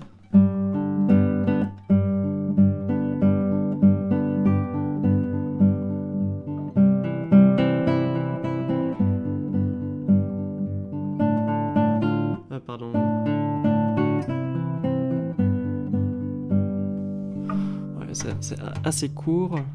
On va voir s'il n'y a pas plus loin des morceaux un peu plus, plus longs. Blues in G with melody notes.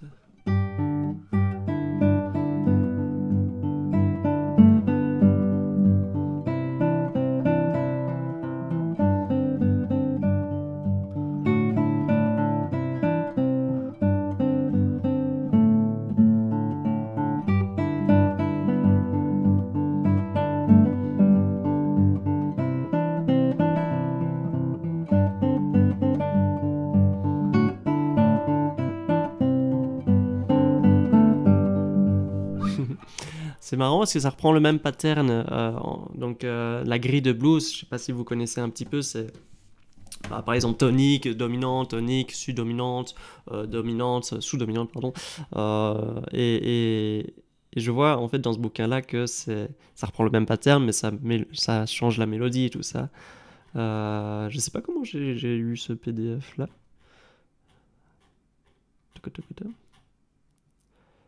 Blues in G with syncopation, donc avec des syncopes.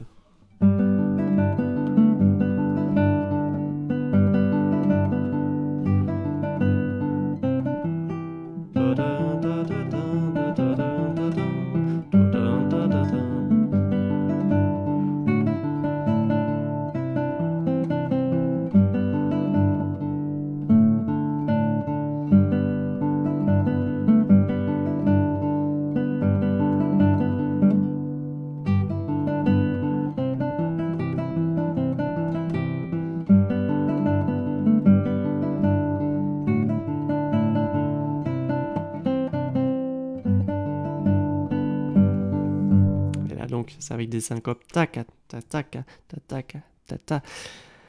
Bonjour, alors SPDMBJ, si je me souviens bien, c'est Ludovic. Dis-moi si c'est correct. Bonjour Ludovic. Euh, Ah, j'ai reçu un lien de Pascal Dumont. Oui, mais j'ai j'ai reçu où un lien? Parce que. Toc, toc, toc. Dans le chat, je ne vois pas de lien. Il faut le mettre carrément dans le chat. hein. D'accord, Pascal? Euh, Quoi, sur mon adresse mail Sur YouTube? Euh, donc Perrière, merci, de, merci pour nous faire cadeau de ton temps et de ton art malgré un gros rhume. Bon, ça va, le rhume s'est calmé apparemment. Euh, c'est ta générosité naturelle. Ben, merci pour la générosité de donner des commentaires comme ça. Ah, zut, c'est Sébastien. C'est un autre Ludovic alors. En fait, aujourd'hui, en Belgique, c'est euh, la fête euh, Fédération Wallonie-Bruxelles. Donc, euh, j'ai congé. J'ai congé. Donc voilà, j'en profite pour justement faire un, direct, vu que j'ai un petit peu du temps aujourd'hui de libre par rapport à ça. Donc c'est chouette. Dans le chat de Pascal, d'accord, ben je vais... Je sais pas Pascal, je, je, je, regarde si tu peux refaire un... Si, tu peux le renvoyer, désolé, hein, mais je, ne vois pas. Et pourtant il n'y a pas non plus masse de messages. Euh, euh, mais je ne vois aucun lien. Euh. Voilà. Alors, Mustapha Diop, considères-tu que la musique classique est une base pour jouer d'autres styles de musique à la guitare? Euh, pardon, j'étais encore occupé avec euh, Pascal, mais je, ne vois pas hein, le lien au-dessus.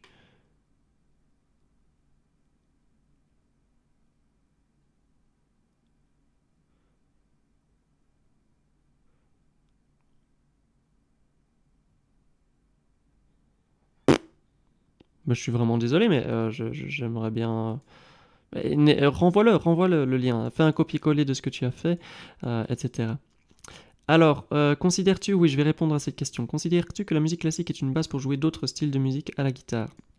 Alors, c'est pas une obligation. C'est clairement pas une obligation. La musique euh, classique ne va pas vous, aider à, jouer mieux ou enfin à, passer directement sur du, rock, euh, euh, du, blues, etc. euh, facilement. Euh, maintenant, savoir que la musique classique est extrêmement riche.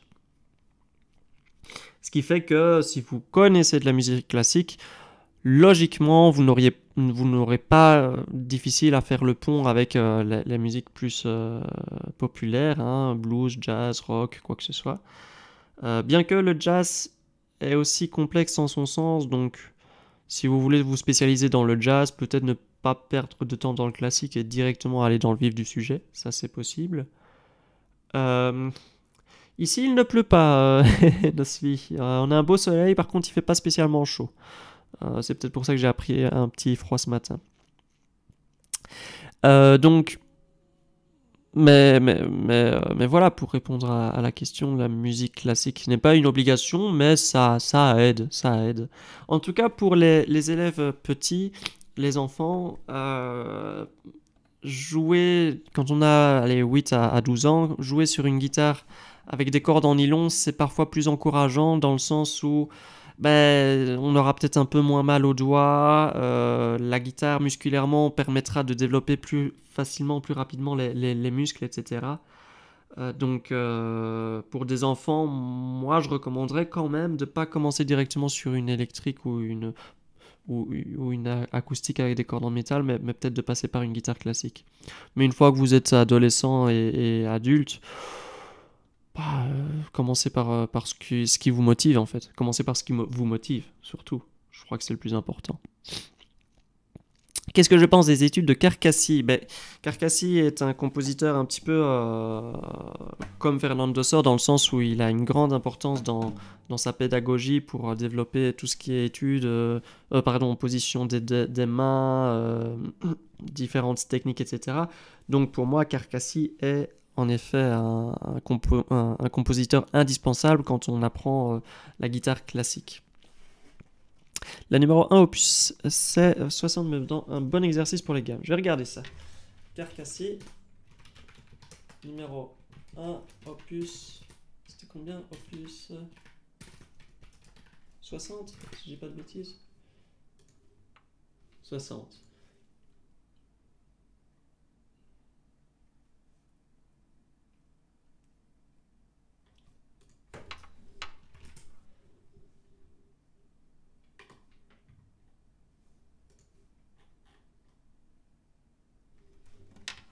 Ah, mais je la donne justement à un de mes élèves qui est en, sixième année, ce morceau-là. euh, Il y a un de mes élèves dans, dans l'école où je donne cours qui, qui travaille ce morceau-là.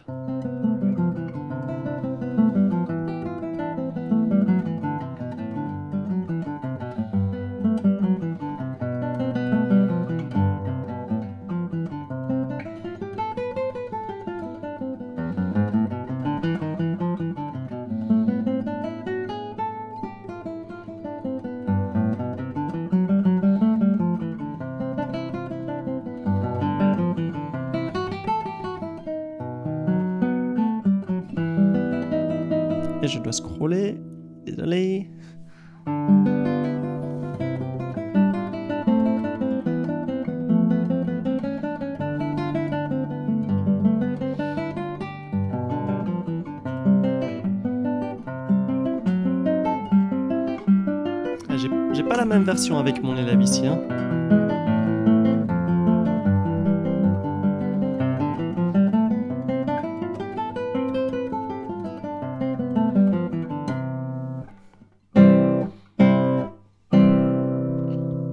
Donc c'était l'étude euh, numéro 1, opus 60 de Carcassi, qui est en effet euh, un, très bon morceau pour développer tout ce qui est gamme, euh, comme le dit bien Sébastien.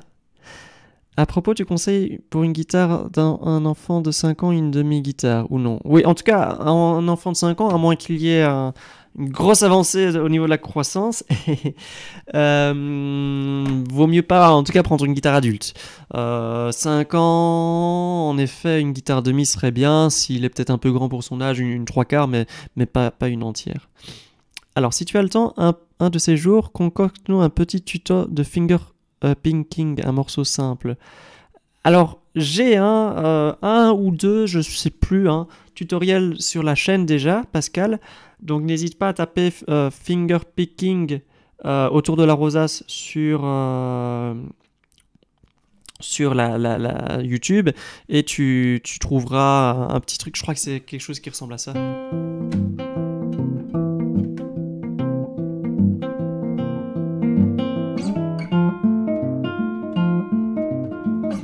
C'est pas vraiment un morceau, mais c'est plutôt un exercice.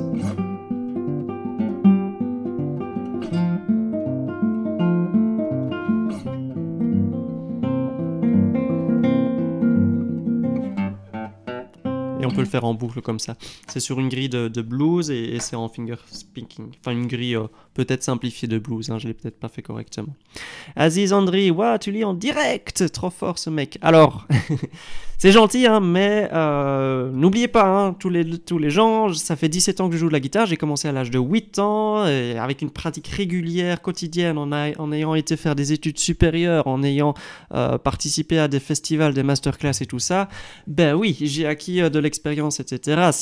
C'est mon job, on va dire. Donc. Euh, vous en êtes tous capables, mais euh, il faut bien persévérer, patienter si jamais vous êtes justement débutant. Et tout le monde est capable d'avoir cette capacité-là de euh, trouver une partition et boum, le lire en direct. Hein. bon, ça prend du temps, bien sûr, parce que c'est comme apprendre un nouveau langage, etc. Et en plus qu'on doit traduire par des mouvements et pas spécialement par des mots et des lettres. mais, mais c'est pareil. En fait, voilà, je, lis quelque chose, c'est comme si je lisais un texte dans une autre langue, mais au lieu d'utiliser ma bouche, j'utilise mes doigts. si on peut euh, dire ça comme ça. Bien. Donc voilà Pascal, hein, je sais pas si tu as entendu au niveau du, dans le direct, mais euh, tu as ça. Allez, on va faire un petit morceau cantabile, donc en chantant, c'est l'étude euh, numéro 17, opus 44 de Fernando Sor. Comme ça je fais un peu de musique.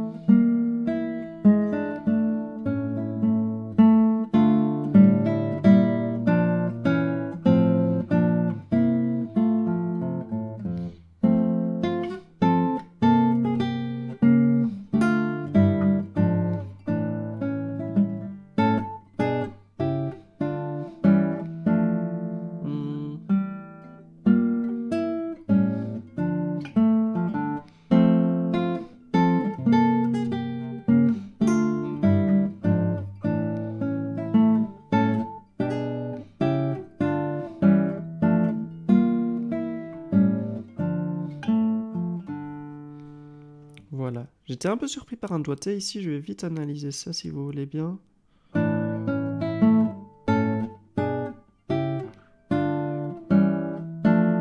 Ici. Je sais pas pourquoi il me met un, numéro 1 ici. Ou alors c'est si je fais ici. Non, ça n'a pas de sens. Savez quoi, je vais carrément le, barrer avec un crayon parce que ça n'a aucun sens qui est ça.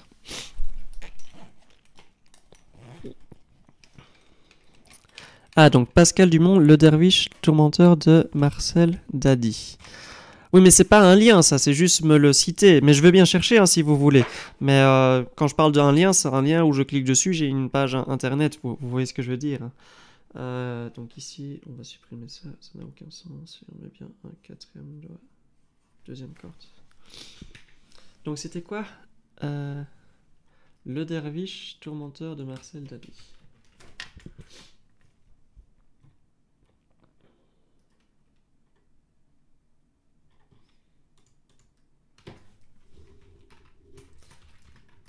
Score.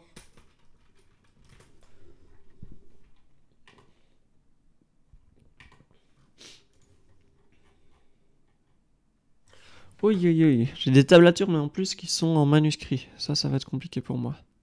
Mais bon, euh, je veux bien essayer de lire des tablatures à vue pour vous.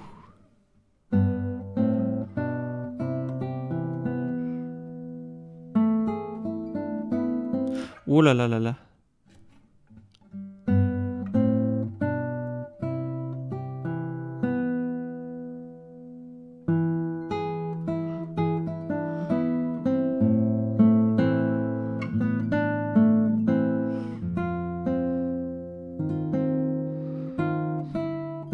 Vous savez, j'arrive pas à lire des tablatures à vue. C'est trop perturbant d'avoir, au lieu de, des 5 lignes de la portée, d'avoir 6 lignes. Du coup, je confonds la quatrième ligne et la troisième ligne. Et euh... j'arrive pas à lire une tablature. Tout simplement, j'arrive pas à lire une tablature. Euh... Il faut le jouer de plus en plus vite. Alors ici, j'ai...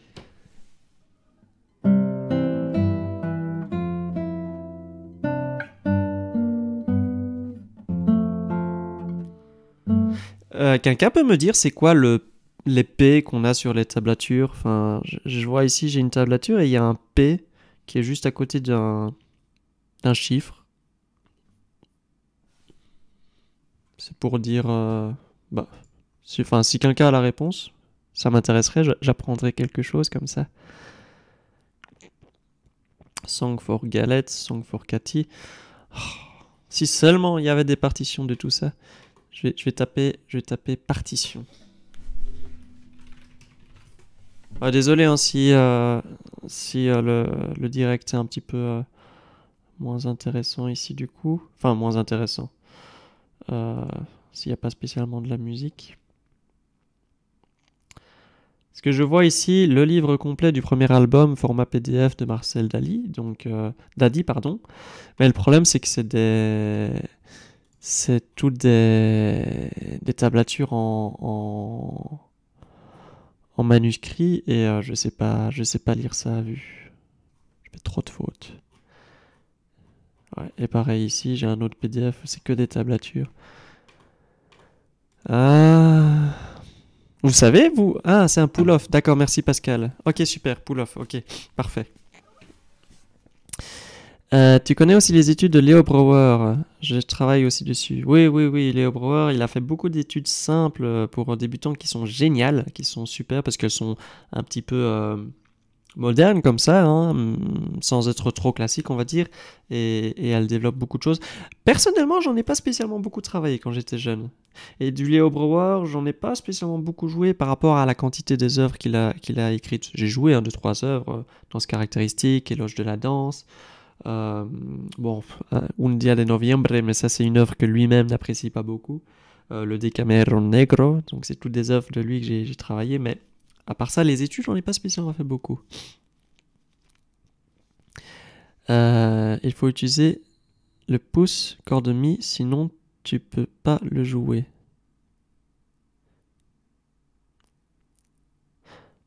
Ah, Alors, ouais, là j'ai apparemment deux choses contradictoires. D'un côté, j'ai un PO, ça veut dire pulling off, et d'un autre côté, j'ai un PO qui veut dire pouce. Faut vous mettre d'accord. Faut vous mettre d'accord. Euh, moi, je partirais sur le pulling off. Euh, mais euh,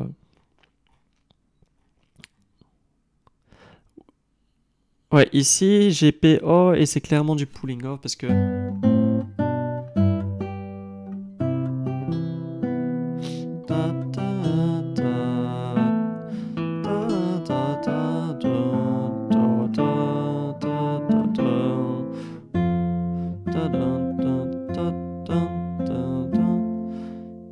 vais pas le jouer en swing, je vais le jouer en, normal.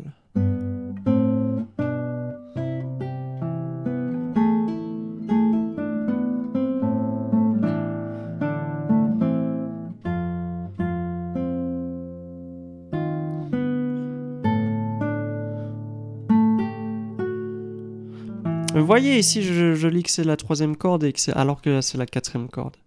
Ah, je suis désolé. Je me sens impuissant. je me sens impuissant.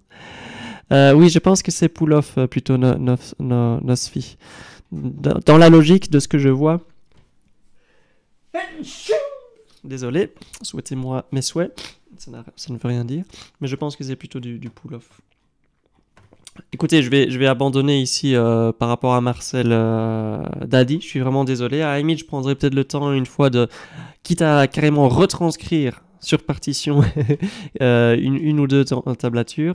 Et j'écouterai aussi, hein, euh, parce que ça va peut-être m'aider de, d'écouter tout simplement ce qu'il. euh, Enfin, d'oreille, on va dire. Le Fa sur l'accord de mi grave doit être joué avec le pouce. Ah, c'est ça que tu disais, d'utiliser le pouce, ok. Mais voyez, c'est ça que je veux dire. Sur une guitare classique, bon, il faudrait que je prenne mon autre guitare, qui est pas très loin d'ailleurs. Mais sur une guitare classique, c'est compliqué de faire ça. De mettre le pouce ici. Parce que le manche est, beaucoup plus large. Donc euh, ça m'empêche ici après d'écarter correctement mes autres doigts. Donc moi, faire un accord de Fa majeur comme ceci, c'est la galère. C'est la guerre. J'ai beaucoup plus simple avec un, accord. C'était un La mineur, toi, mais peut-être, peut-être. Je n'ai pas fait attention. California Blues. Euh, vous savez quoi, ici j'ai deux trois morceaux. euh. J'ai deux trois morceaux, mais avec des partitions. Je vais essayer de voir ce que ça donne. Mais non, non, c'est des accompagnements, pardon. Donc ça va être la même chose tout le temps. Et, ça, c'est quoi?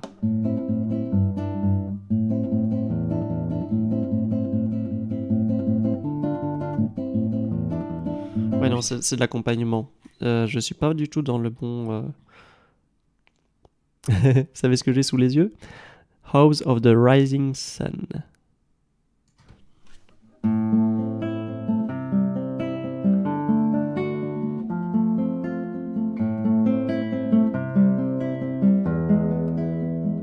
Je crois que c'est une version simplifiée. Hein.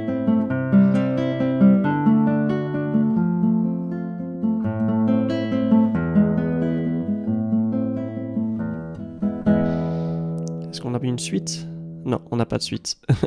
Ça se termine là.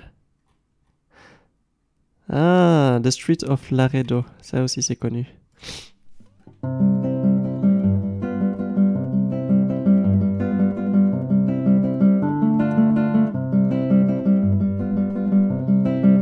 Enfin, c'est connu, mais je n'ai que l'accompagnement, malheureusement. Euh, là, il y a un problème. Oui, c'est ça. Y a deux, trois trucs qu'il faudrait corriger dans ce, bouquin-là. Mais je vais abandonner ce bouquin-là. Euh... Vous savez quoi, je vais... Je vois que ça, Pardon, c'est un intérêt certain. Euh, je vais peut-être prendre le temps de préparer, euh, à la limite, un, peut-être pas la semaine prochaine, mais peut-être euh, voilà, dans une semaine qui arrive, préparer le temps euh, de, de trois pièces comme ça de, de, de finger picking. Euh, parce que moi, avoir juste une tablature à vue, euh, c'est la galère. Et encore, même avoir une partition sans doigté, c'est aussi compliqué. C'est aussi compliqué de faire ça à, vue. Enfin, c'est ouais, c'est juste que c'est euh, c'est pas pratique, tout simplement. Allez, je vais vous jouer Adelita de enfin, en fait, je vois que j'ai la partition sous les yeux, c'est pour ça.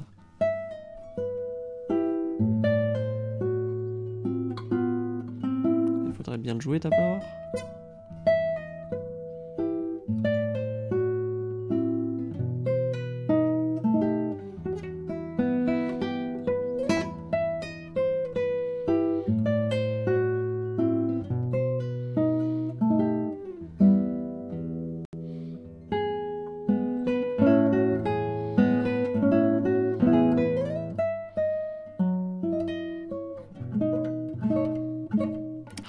je me souviens de ça.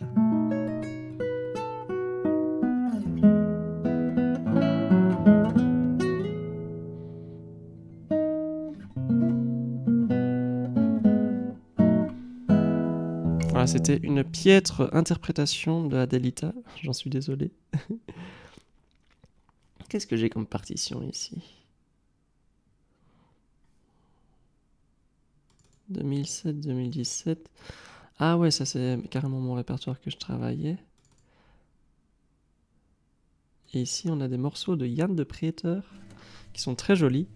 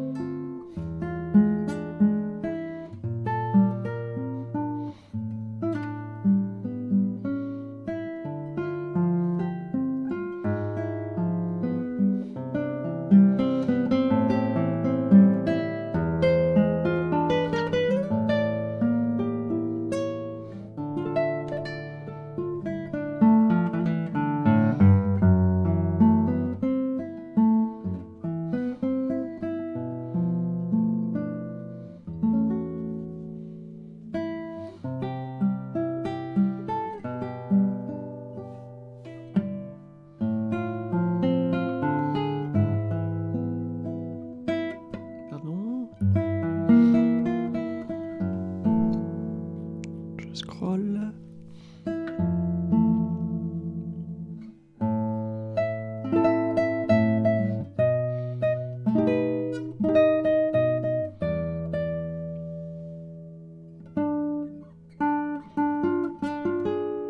What? Comment est-ce qu'il fait ça? Ça n'a pas de sens. Il y a une note. Ré, fa, fa. Devrait jouer comme ceci en fait.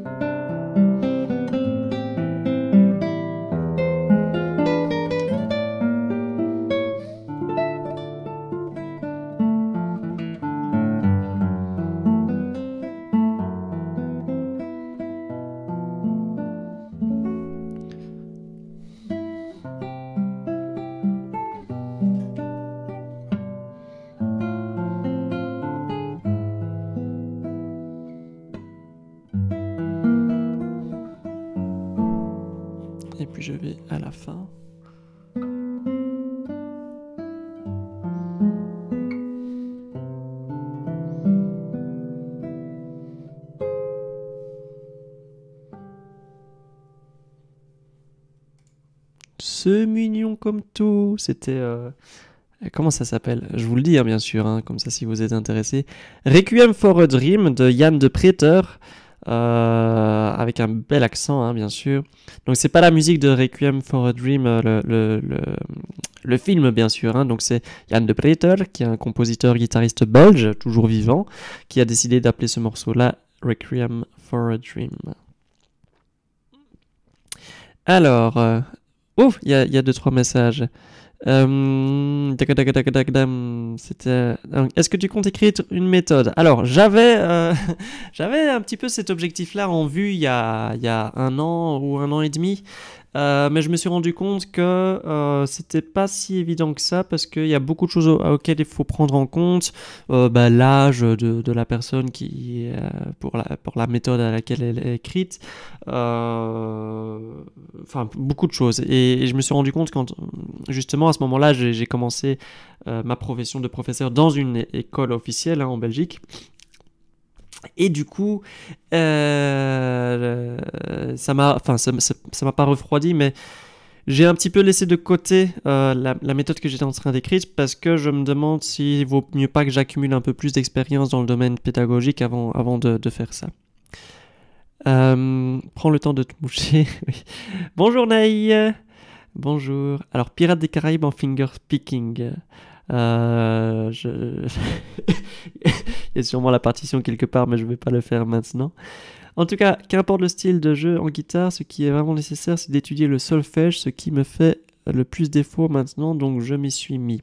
Mais Nosfi, tu vois quand même que euh, ce qu'on proposait là de Marcel Dadi, c'est ça? Si toutes ces partitions, enfin si tous ces morceaux de musique sont en tablature, c'est que lui-même n'a pas du tout appris euh, la la forme, enfin le, solfège, etc. Donc, euh, il n'est pas impossible de développer son propre style sans connaître de solfège. Ça, il faut, faut bien se le dire. Le solfège, c'est pas non plus obligatoire.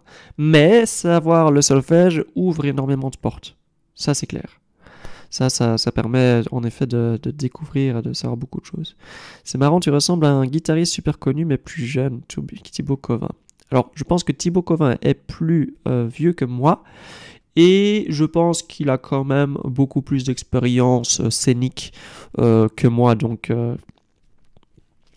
je ne pense pas qu'il y ait, enfin, qu'on se ressemble, on va dire. Il y a énormément de guitaristes qui, qui sont plus talentueux que moi, dont Thibaut Covin, ou en tout cas qui ont bien fait, on va dire, envoler leur carrière, ce qui est génial. Euh, moi, j'en suis ici, euh, toujours dans ma petite chambre. Ney, salut Robin, je voulais te demander, est-ce que tu utilises trois caméras pour tes vidéos? Oui, en effet, j'utilise du multicam, donc euh, en général, dans mes tutoriels, j'ai une caméra qui est en face de moi, une caméra qui est sur le côté qui filme ici ma main gauche, et une caméra ici sur l'autre, de l'autre côté qui filme la main droite. Et comme ça, dans le montage, justement, je peux facilement passer d'une caméra à une autre si jamais j'ai besoin. Après, si je fais un tutoriel qui ne nécessite que de l'utilisation de deux caméras ou qu'une seule, bah, je ne fais qu'une seule caméra. hein. Bonjour Chimu Amsel Mambo. Et euh, bah, au revoir Sébastien. Euh, passe une belle après-midi. Je vais pas spécialement tarder. En plus, je dois passer euh, aux toilettes. Euh, en tout cas, je suis assez content de voir qu'il y a pas mal de monde euh, ici à l'écoute et, euh, et que vous êtes aussi actifs dans le chat. Ça me fait plaisir. Et j'espère que pour tous ceux justement qui voient la, rediffusion, euh, bah, que ça, reste intéressant, hein, même les questions qui sont posées ici dans le chat, que ça reste intéressant. Très bonne édition. Ah oui, de, vidéo. Alors oui Pascal, hein, j'ai déjà joué sur une guitare folk parce que justement, si tu vas sur mon mon comment ça s'appelle mon ma chaîne de musique Robin Mace Music, tu verras qu'il y a plein de de, clips que j'ai fait euh, avec guitare folk. Donc en effet, j'ai déjà joué sur une guitare folk. Comment ça, je ressemble à Thibaut Covin? D'apparence. Ah, je vais, je vais Thibaut Covin. Je vais regarder une petite photo, hein. Ouais, bon, ici j'ai peut-être euh, j'ai peut-être les cheveux plus ou moins à la même taille. Mais euh, apparemment, lui, il se laisse pousser la petite moustache. C'est vrai que moi, je pourrais. Je suis un berbe ici sur les côtés. je sais pas me laisser pousser la barbe. Euh... Pour ça que souvent, on pense que je suis jeune, mais bon, je suis jeune, bien sûr, mais il y en a qui me donnent 16 ans, mais j'ai quand même 25 ans. hein. Euh. Ouais, allez, il y a un petit air de ressemblance, mais c'est peut-être parce que j'ai simplement une guitare avec moi. hein. C'est pas parce que, parce que je joue aussi bien que lui. Euh, la cinquième étude de Sor me fera toujours penser au grand Raymond de Vos. Kingos numeros uno. Et c'est mieux de me dire aussi l'opus, l'opus, pardon, parce que la cinquième étude de sort, il y en a plusieurs des cinquièmes études, on va dire. Donc, euh, euh, c'est pas, pas très précis. Si tu sais toujours l'opus, moi, je peux toujours la, chercher et voir si, si je l'ai pas ici dans le coin. Euh, Enrmangel Mpoussa, bonjour, je viens d'arriver. Malheureusement, je ne vais pas spécialement euh, tarder à, y aller. Euh, bon arrivé. Bonjour Robin, tes vidéos sont super instructives, me dit Alex. Merci beaucoup pour tes tutos. Merci beaucoup. Euh, Jean Paré 18. Ben oui, voilà, on me, on me, donne, euh, on me donne assez jeune, mais, mais je fais quand même 25 ans. Et il est même arrivé dans, mon, école, hein, où je donne cours, justement, que j'aille dans une classe pour prendre un, matériel, par exemple, pour aller venir le mettre dans, mon local à moi. Et, le professeur qui, justement, me faisait rentrer dans, sa classe pensait que j'étais un élève, alors que j'étais euh, le nouveau professeur de, de guitare.